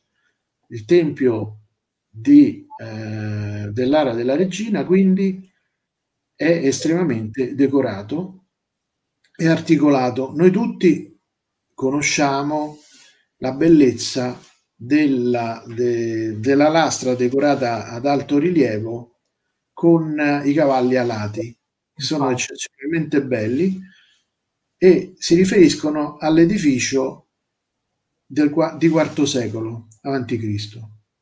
Sì. Qui lo vediamo, lo vediamo oh, sul pannello angolare eh, presentato nella ricostruzione. Sì, che poi c'è pure un aneddoto no? legato a, a, insomma, ai cavalli alati, perché voi dovete pensare che quando io ho l'onore, il privilegio di collaborare con queste persone che hanno una preparazione filologica, storica, eh, archeologica, io ovviamente cerco di non lasciare nulla al caso e chiesi proprio a Francesco eh, di insomma, di, di volevo, gli volevo dire proprio l'esatta posizione, la corretta posizione di questi cavalli alati. E Francesco mi disse proprio, guarda, mettili eh, lateralmente. E infatti abbiamo messo eh, questi cavalli alati laterali e poi dall'altra parte eh, ci sono sempre dei cavalli, però il fantino, per così dire, insomma, la persona che conduce questi cavalli ha una colorazione diversa, ovviamente è una cosa che salta all'occhio. Poi abbiamo parlato anche te- di questi tetti spioventi, no? questa caratteristica peculiare degli edifici e delle architetture etrusche che si ritrovano poi ecco, anche nelle architetture religiose. No? Sì, ecco, questi edifici antichi eh, avevano lo spiovente del tetto molto prominente. Vedete quanto è lungo, quanto dista dalla parete questo serviva per proteggere le murature dall'umidità, dalla pioggia che cadeva e schizzava dal pavimento, eh, oppure dalla, dalla, pioggia obliqua che poteva eh, danneggiare comunque un'edilizia solida ma comunque delicata perché è sì. vero che era fatta di blocchi di, di tufo, però ave- erano ricoperte eh, con un intonaco che eh, no, un intonaco bianco e poi dipinto, come si vede in questo caso bianco e rosso. Cioè, c'erano anche de- alcuni che avevano decorazioni figurate, quindi dei motivi eh, decorativi. Ecco, questi intonaci non erano evoluti come quelli più recenti. Con l'acqua si potevano rovinare, si potevano disgregare con l'umidità. E allora hanno questi tetti molto prominenti che sono tipici, ma sono tipici di tutte le architetture eh, delicate. Ah, certo. Prima facevo l'esempio con Marco del, delle architetture giapponesi, le pagode, eccetera che sono anch'esse fatte di legno e di materiali comunque delicati e sono caratterizzati da queste eh, da questi spioventi lunghissimi. Quindi, ecco, La, ragazzi, ecco mi, mi premeva di dire. Sì, sì, io lo dico agli alunni, prendete appunti, perché quindi i tetti degli edifici etruschi avevano questi spioventi così belli pronunciati e lunghi perché dovevano preservare gli intonaci che all'epoca degli etruschi non avevano la consistenza degli intonaci moderni. Ecco, volevo dire che i frammenti delle decorazioni che sono stati trovati negli scavi non sono, eh, insomma, erano piuttosto scarsi, però sufficienti per rappresentare i vari i va- le varie fasce decorative di tutto il tempio. Per cui i vari pezzi eh, li abbiamo messi nel giusto ordine, conservavano anche tracce della colorazione e eh, grazie alle... io poi mi occupo anche di, di, di templi etruschi per, per lavoro, quindi è stata un'occasione con Marco di dare, di, di ricostruire in maniera efficace e bella il tempio nella sua, eh, nella sua, nel suo aspetto direi molto verosimile. Quindi i colori che vedete non sono di fantasia. Non abbiamo qua una ricostruzione come ce ne sono tante in giro che eh, lasciano sempre il dubbio che siano finte, che siano comunque eh, delle cose opinabili. Qui la ricostruzione è, è, raccoglie tutte le conoscenze che si hanno sull'architettura etrusca. Sì, sì. No, veramente, una veramente fedele e devo dire che per la prima volta Marco ci ha dato la possibilità anche a noi archeologi di vedere il tempio tirato su con i suoi colori, con, le sue, con i suoi volumi, con la sua verisimiglianza. Quindi, grazie vero, questo è un vero tempio, non è, ripeto, non è di fantasia, era così. Sì, sì, poi noi abbiamo cercato veramente di non lasciare nulla a caso, perché mi ricordo verso le battute finali del processo di lavorazione che Francesco a un certo punto mi dice guarda, adesso fai un tridente, fai il tridente sopra la decorazione. Ho detto perché?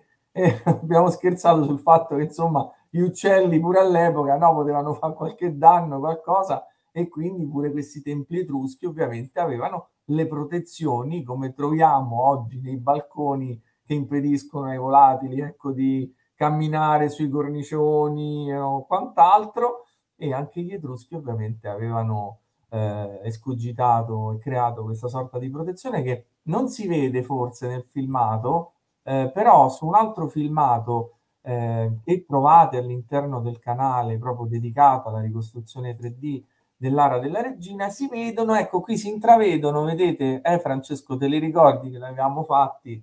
E sì, sì.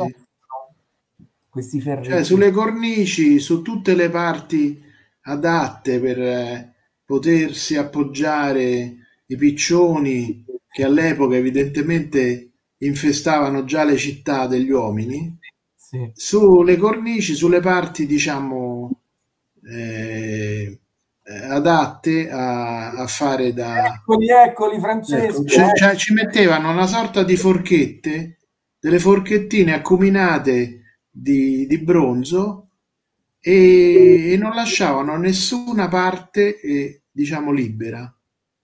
Era praticamente un filo spinato continuo. Sì, sì, sì, la protezione. Ecco, vedete che, che decorazioni molto fitte e estremamente colorate. Usavano il rosso, il nero, il, il, il bianco, successivamente anche l'azzurro e il verde.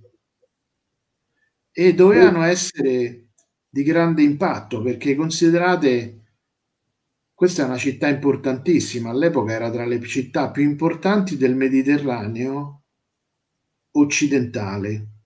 Chiaramente non parliamo di, di, di egizi oppure di, eh, di, greci che magari avevano una, eh, un impatto e una resa più eh, spettacolare, forse anche più ricca come come mh, resa appunto architettonica e decorativa, però ne, sicuramente il, nel Mediterraneo occidentale gli Etruschi rappresentavano la popolazione più evoluta, più ricca, più oh, dal punto di vista artistico più avanzata.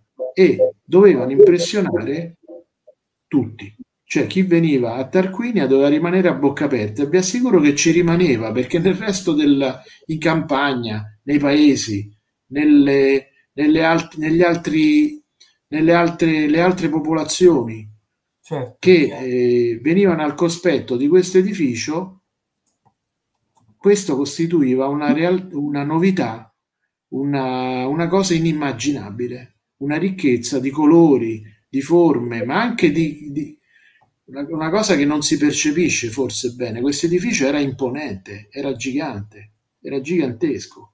Quindi chi era abituato a, alla casupola, alla capanna, molti abitavano nelle capanne, si trovavano davanti questa che era una, la, la residenza degli dei. Ecco le forchettine, vedete?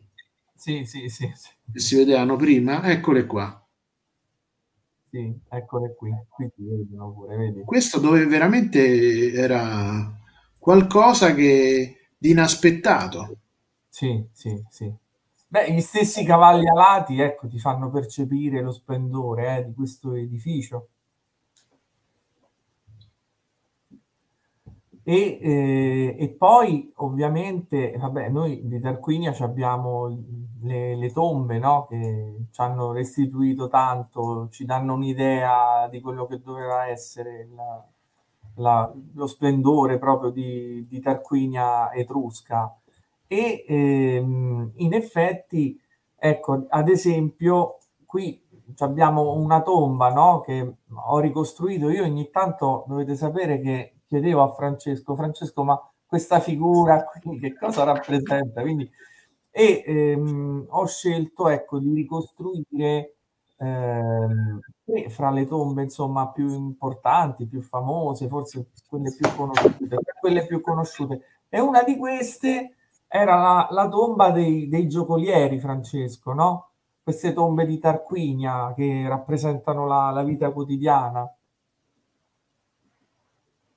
Eh sì, eh, Tarquinia tra le sue ricchezze ha conservato, ha restituito le, le famose tombe dipinte. Ecco, fermati qua. Ecco, le tombe dipinte sono eh, delle camere sotterranee scavate in una roccia eh, calcarea molto friabile che si chiama macco. Questo macco, è, a differenza del tufo di Cerveteri, che è estremamente è, mh, lavorabile e al tempo stesso solido, quindi adatto ad essere rifinito perfettamente. Questo macco invece si, si sbriciolava, era polveroso, era fastidioso anche. Per regolarizzare il tutto, quindi eh, intonacavano le pareti con questi impasti che erano un po' ai primordi degli intonaci, erano un po' di argilla, un po' con degli inizi di gessi e, e, e, cal, e calcine eh, varie, così per semplificare. E così, intonacando le pareti, ottenevano queste superfici bianche eh, continue che si eh, prestavano perfettamente alle decorazioni. Ora, co- cosa mettere sulle pareti di una tomba? Ovviamente si, eh, delle rappresentazioni che collegate al mondo dei vivi oltre che a quello dei morti. Ecco, e qui si vuole rappresentare, si è voluto rappresentare in queste tombe che risalgono addirittura al VI e V secolo a.C., delle scene di vita e contemporaneamente di, eh, di morte, cioè di collegamento con, con, i defunti. Ecco, fermo qua. E, allora, intanto la tomba è una camera che, che aveva all'interno i letti di legno eh, su cui venivano appoggiati a vista, quindi non dei sarcofagi, ma in genere era, c'erano anche i sarcofagi chiusi, eh? però in genere venivano messi appoggiati sul piano di un letto e i morti stavano lì, li chiudevano dentro la camera e poi sigillavano tutto.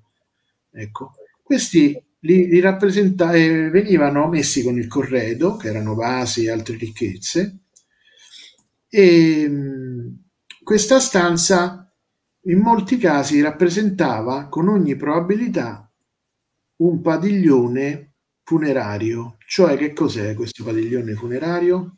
È una tenda che con ogni probabilità veniva proprio montata realmente nel momento in cui si faceva il eh, funerale. Il funerale durava un po' di tempo, qualche giorno, perché si bisognava aspettare i, i, i congiunti, i vari invitati al funerale che arrivassero, poi si organizzava appunto in un'area esterna alla tomba probabilmente l'area del, del culto del, del morto.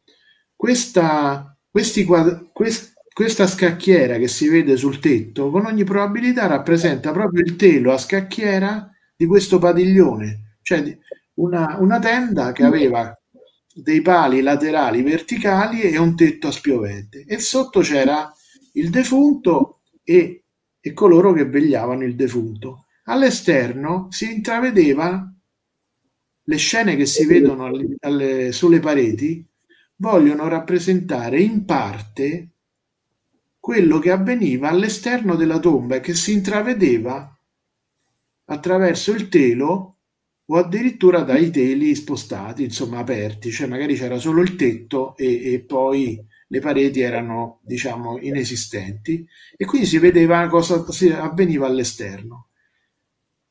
Quindi in alcuni casi si rappresenta, perché poi sono diversi, diverse tipologie di rappresentazioni, ecco. In alcuni casi i giocolieri, come in questo caso la tomba dei giocolieri, ecco, questa è perfetta, fermati così, no, quella di prima, torna un po' indietro, ecco così, blocca, ecco. Qua si rappresenta, allora i giocolieri con ogni probabilità sono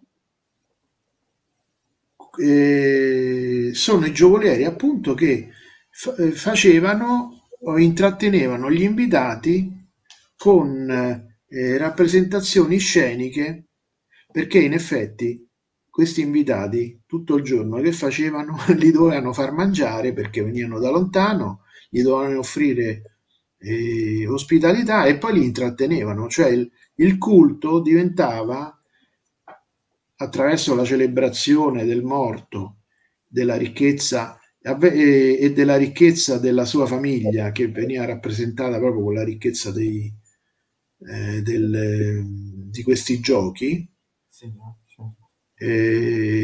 Insomma, questi erano veri e propri spettacoli. Quindi nella tomba dei giocolieri abbiamo sulla parete di fondo una danzatrice ci sta un suonatore di flauto, se vedete, in fo- eh, dietro la danzatrice, e poi eh, un altro suonatore e un personaggio seduto sulla, eh, sulla destra. Quello probabilmente potrebbe essere uno dei defunti. Sulla parete a destra, quella lunga a destra, ci sono altri danzatori probabilmente anche personaggi della famiglia, come potrebbe, la donna potrebbe essere una danzatrice, ma anche magari la moglie o una congiunta del defunto. Ecco, a sinistra, eh, sulla parete sinistra invece abbiamo probabilmente la rappresentazione del defunto, eh, che è il personaggio eh, col bastone. Poi c'è un, un ragazzo, c'è uno che corre con un bastone, vedete quel bastone ripiegato, quello lì è un bastone da caccia, veniva utilizzato per, per, nella caccia alla lepre, per stanarla e per ammazzarla praticamente.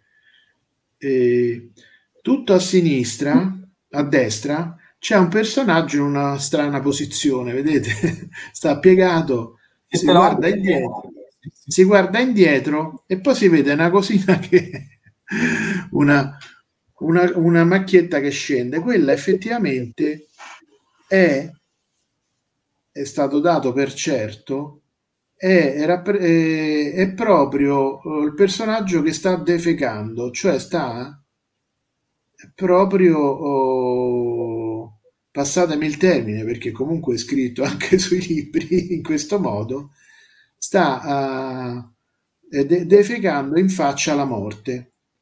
E, e il, c'è anche scritto il nome, una scritta, c'è scritto Era Canasa. Probabilmente questo è un servo, cioè questa, eh, questa cosa comunque di, di, di, di, defecare, comunque la fanno fare un servo. Il nome sembra che sia di un servo.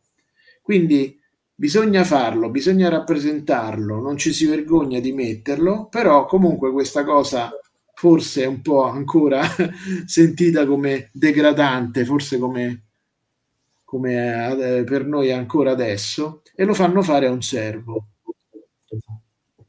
Sì, ecco, sì. avanti fantastico veramente, guarda, quanti segreti scopriamo veramente grazie a te. Eh beh, questo è frutto di studi che, degli etruscologi che, che poi sono teorie, eh? magari ce ne sono altre più sì, sì, sì, eh, a cui si dà più credito. Io seguo quella de, di, delle interpretazioni che venivano fatte all'università quando, quando andavo io certo, al suo tempo. Certo. Qui sempre ecco, membri qui ci sono i vari danzatrici, ecco. Membri della famiglia. Sì. Eh, uh, car- sì, probabilmente appunto questa più riccamente vestita è una, un membro della famiglia, non so se defunta oppure Certo. E probabilmente quello al centro è un altro defunto, vedete quello in mezzo alle piante, e, e quelli intorno gli rendono omaggio, lo salutano. Sì, che poi questo Francesco, eh, questo personaggio è uno di quelli più rovinati della, della tomba. Effettivamente eh, ho dovuto lavorarci di più, ho immaginato un po' che, che viso. No, no, ma è verosimile perché la, la, la scansione le, la, la, disposizione degli spazi no, e dei personaggi è fatta in modo che il personaggio principale sta messo al centro e in genere certo. e, e, quelli intorno che gli rendono omaggio ti indicano che con ogni probabilità è, è uno dei committenti, uno dei personaggi principali. Ecco, questo è un lavoro, un bel lavoro fatto da Marco per far capire perché la tomba è molto rovinata, anche se dà tutti gli indizi, molti indizi per ricostruirla, però è una, un bel modo per... Qui abbiamo la tomba dei leopardi. Ecco, questa è la tomba dei leopardi, questa è una delle più famose. Eh, questa gli alunni me l'hanno detto, dice, ma Francesco ce la deve spiegare, questa tomba dei leopardi, un po' in senso, no? Che è una di quelle eh, che conosco più. La tomba dei leopardi eh, rappresenta appunto come prima e musici, vedete qui, ecco che, che Marco ha sistemato, ecco qui. Eh, però fermati perché se no, tu puoi tornare un po' indietro? Sì. Ecco, allora, tutto a destra si vede un vaso su un tavolino, vedete? Sì. E quindi c'è una festa quel, quel vaso contiene del vino, quello è un cratere per vino, che eh, presenziava sempre nelle festività più importanti e veniva distribuito agli invitati. Ecco, i musici qui sono al completo perché ci sono, beh, qui si ripetono le figure, ma probabilmente era così. E quindi abbiamo il suonatore di di un, uh, una sorta di lira, no? Sì. Di cetra, anzi. E un altro che suona il doppio flauto alla greca come i greci e poi uno che tutto a sinistra tiene un, una, una coppa bassa, una Chilix, che, che contiene il vino probabilmente preso da questo vasone all'inizio. Sì. Ecco, andiamo, sp- spostiamoci sull'altro, sull'altra parete. Ecco, questa è, sempre la parete laterale, dall'altra parte, e qui c'è un corteo di, eh, di personaggi. Vedete come l'altra tomba, perché grosso modo il periodo è lo stesso, sì. stiamo all'inizio del V secolo, eh, sono eh, inframmezzati da, da pianticelle, da piccoli alberi, che vogliono significare appunto che stiamo fuori del padiglione, siamo all'aperto, quindi che queste rappresentazioni avvenivano eh, nell'ambiente, sì, non sì. negli edifici, anche perché è importante dire che gli Etruschi in quel periodo, ma tutte le popolazioni di quel periodo, in casa ci stavano pochissimo, cioè le stanze non erano luminose e adatte per viverci. Certo. Erano, la maggior parte erano dei cubicoli privi di finestre che servivano per dormirci. C'era, qualche, c'era la stanza dei banchetti, che era il triclinio, che infatti era, vers- era aperta verso il cortile interno della casa e, ed era adatta per, per, poter stare a fare convivio con, con gli invitati. Con ogni probabilità invece queste eh, cose funerarie avvenivano all'aperto proprio con questi padiglioni. Ecco, fermati qua, fermo.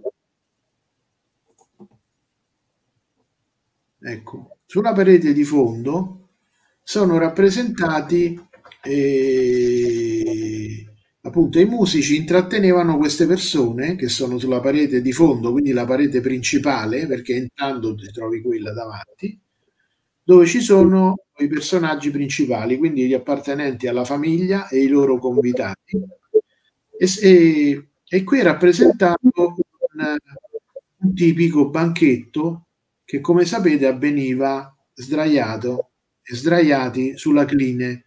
Cline sarebbe il letto da cline triclinio, perché ce n'erano almeno tre, poi potevano essere di più, però il numero minimo erano tre, sì. erano, si mettevano a, diciamo, affiancati a formare una U, ecco, uno di testa e due di lato, e lì c'erano gli invitati e, e facevano il banchetto eh, e, il, e bevevano il vino ed era il, il massimo momento di socialità. Certo. quel sia nel mondo greco che in quello etrusco. Ecco, gli etruschi copiarono molto, moltissimo eh, eh, le usanze che provenivano dalla Grecia per vari motivi. Il motivo principale è che i greci portarono alle popolazioni italiche tantissime novità interessanti, un modo migliore di, di vivere la vita e soprattutto eh, e bellezza. Vedete i vasi greci che, sono, che, che Marco ha rappresentato all'interno della tomba? Quelli erano usati anche in vita, durante la vita, proprio per allo stesso modo dei greci, questi sono vasi da vino, vasi non funerari, ma vasi destinati al convivio, che poi si riportano nella tomba perché eh, era, il proprietario se li portava dietro e poi altri ne mettevano, li mettevano a corredo per testimoniare la ricchezza della famiglia. Però quelli erano realmente utilizzati in vita in questi, in questi banchetti. Venivano sfoggiati durante questi banchetti eh, per sottolineare il prestigio e la ricchezza della famiglia che invitava gli ospiti. Certo, certo. Questi vasi quindi servivano principalmente per bere vino, quindi per copiavano il simposio greco praticamente, e, e per mangiare. Quindi ci sono noi nelle tombe troviamo l'attrezzatura per il bere, ma anche per il mangiare. Per il Esatto. mangiare troviamo eh, spiedi, calderoni di bronzo per fare il brodo, per cuocere la carne, per, eh, per accompagnare cibi, per accompagnare il, la, la, la grande bevuta di vino che portava spesso a ubriacarsi in maniera anche molesta. certo, certo, Francesco. No, fantastico. Stasera veramente ci hai dato una delucidazione su queste tombe stratosferica. E eh, a questo punto ci avviamo verso il termine di questo streaming, però è doveroso dedicare la parte finale eh, al, a, a, Roma, però a Roma, ecco, eh, vista nel periodo etrusco, nel senso questa sera eh, tra le curiosità che ho certamente eh, ce ne sono diverse, ecco, curiosità in generale che, che ci puoi dire riguardo alla Roma etrusca, curiosità in generale sul ruolo che ha avuto Cerveteri, secondo te, nello sviluppo ehm, e nella storia poi, nelle conseguenze di ciò che è stato poi Roma per tutti noi. E poi alla fine eh, andiamo nel particolare, se ci vuoi magari illustrare alcuni punti di contatto eh, tra eh, il Campidoglio nello specifico il Tempio di Giove Capitolino e eh, il Tempio B di Pirgi riguardo a alcune peculiarità legate proprio alle maestranze coinvolte nella realizzazione di queste opere. Ecco, ora eh, Marco e, ed io siamo accomunati dalla, diciamo, dalle origini ceretane, cerveterane della nostra passione per l'archeologia. E Cerveteri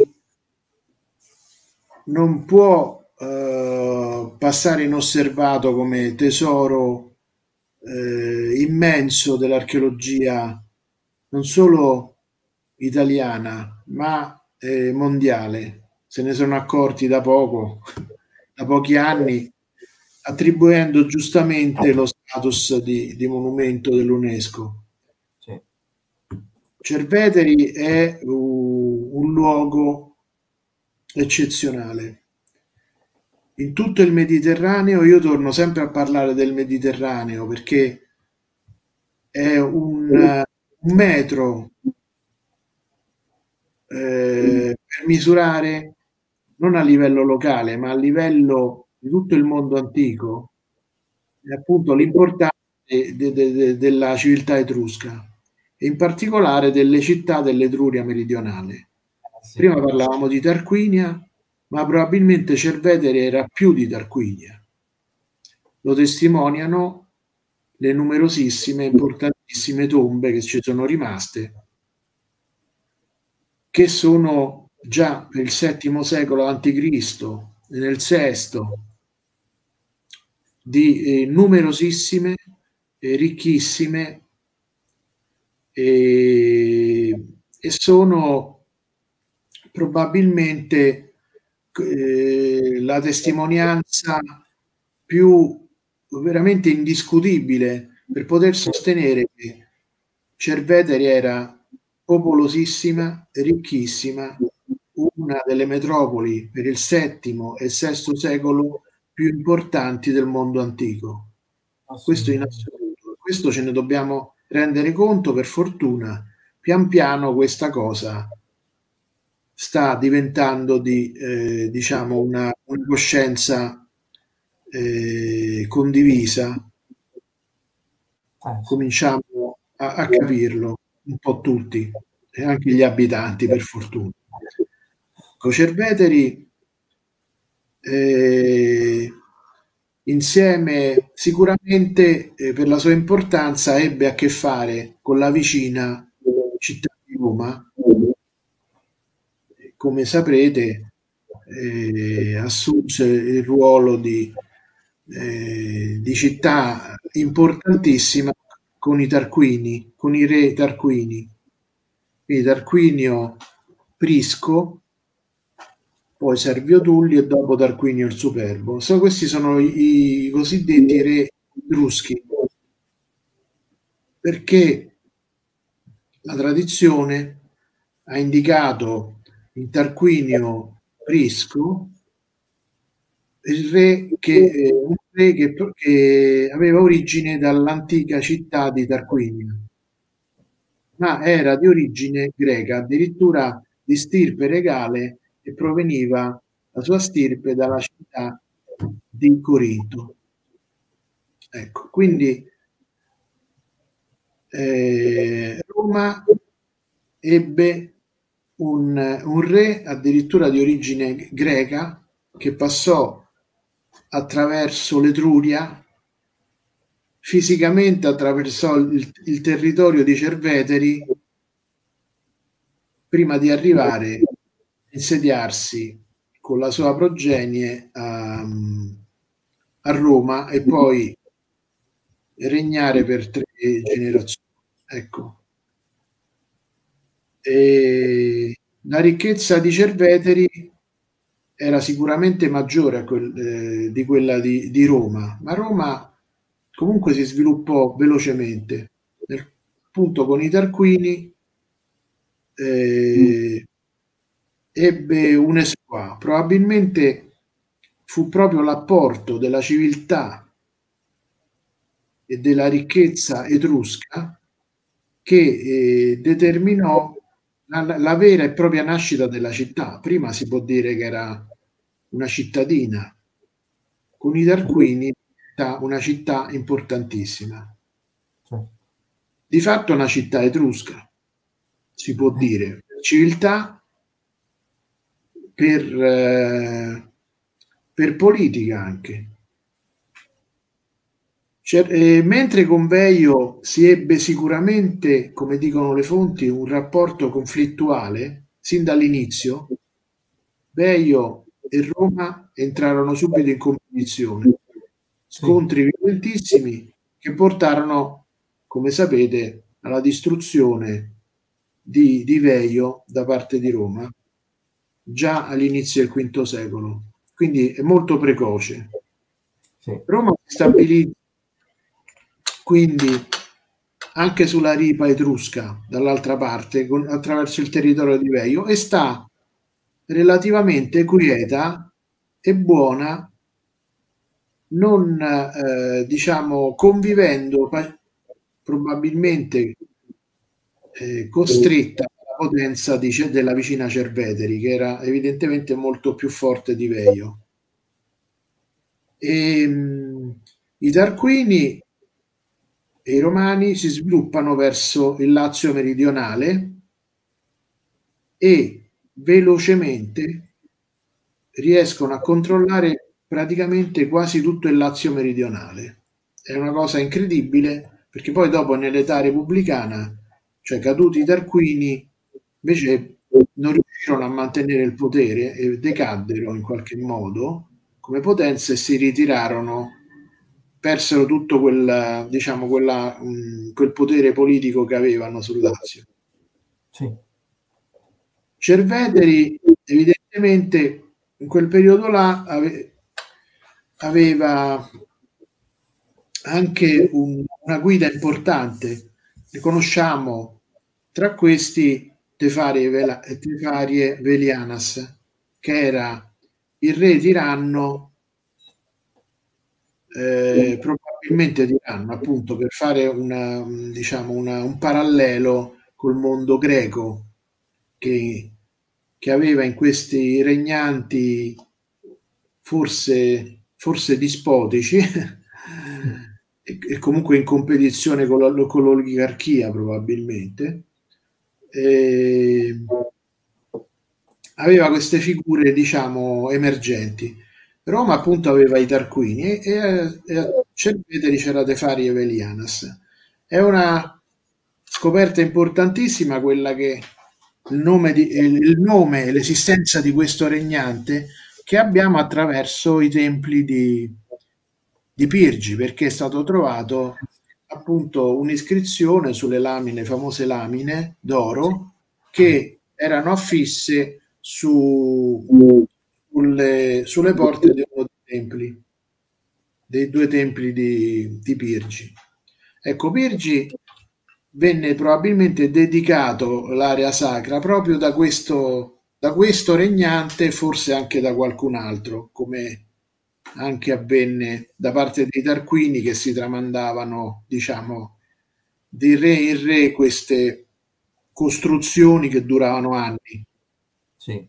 Ecco, la cosa interessante che accennava eh, Marco prima è che appunto Virgi ci dà una, una prova di, di collegamento tra il mondo romano e quello etrusco, proprio attraverso i tempi che, come dicevamo prima, su Tarquinia erano i luoghi che esprimevano al meglio eh, tu, molti significati della città.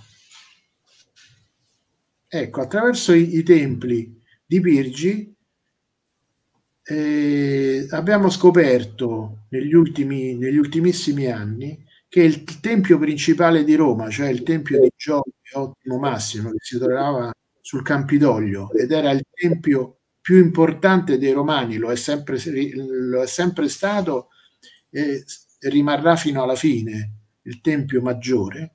Ecco, il tempio costruito da Tarquinio Prisco e Tarquinio il Superbo è praticamente eh, ha le decorazioni realizzate probabilmente dalle stesse maestranze che fecero i templi di G. Questo lo possiamo affermare perché le decorazioni che sono state trovate in un luogo, nei due luoghi sono, sono uguali, sì, sì. molto simili.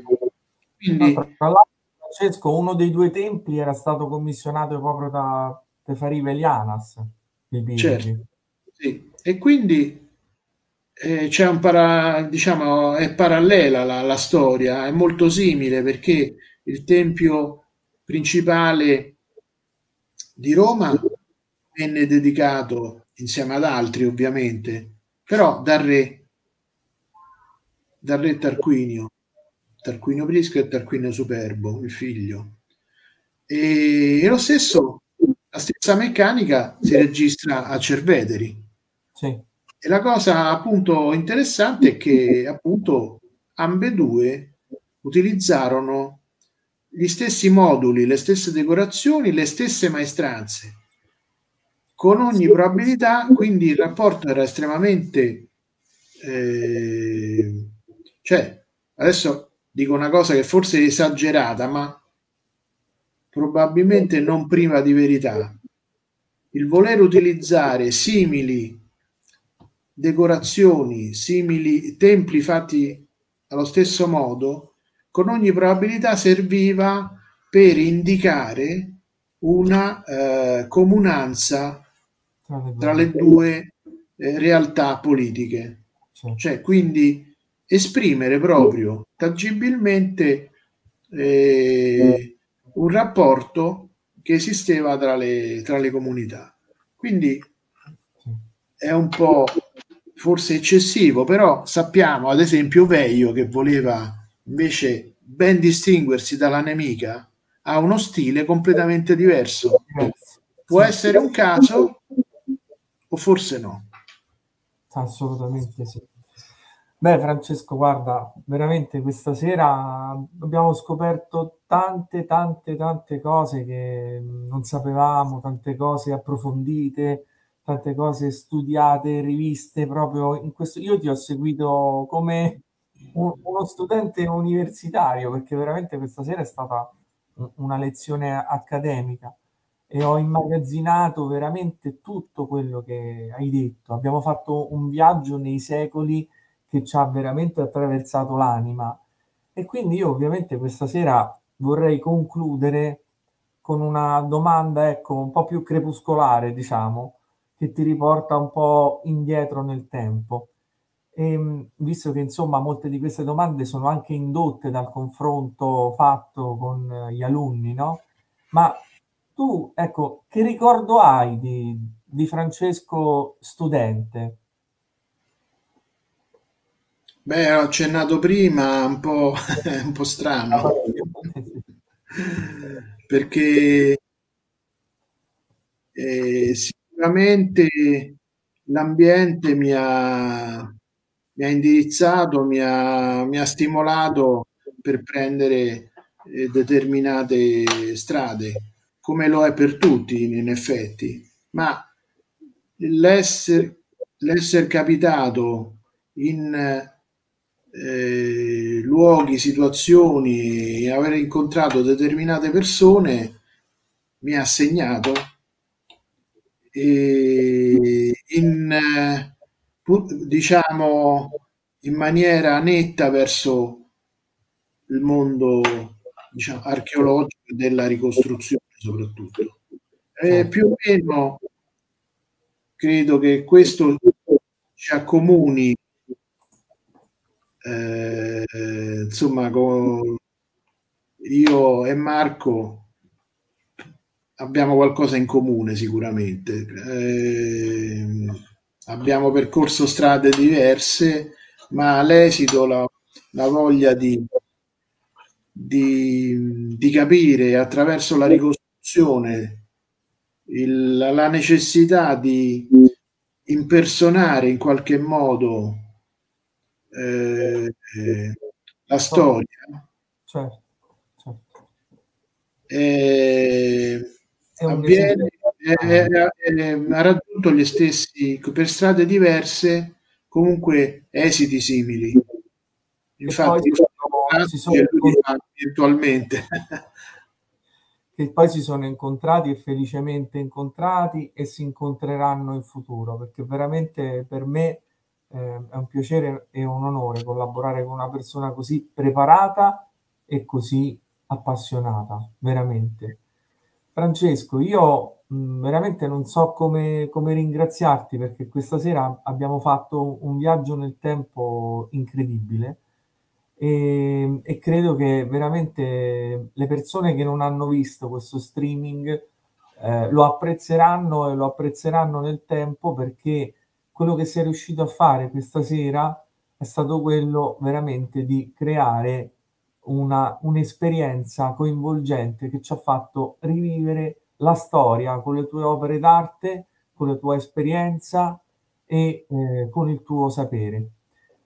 Io ti ringrazio, eh, ti saluto e veramente grazie infinite per questo spazio che ci hai concesso. Grazie a voi e arrivederci, spero.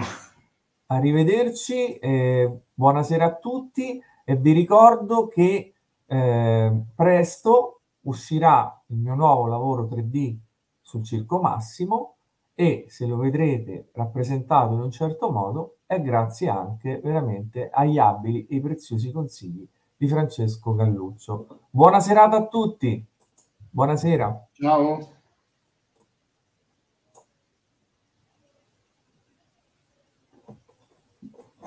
Sì, sì.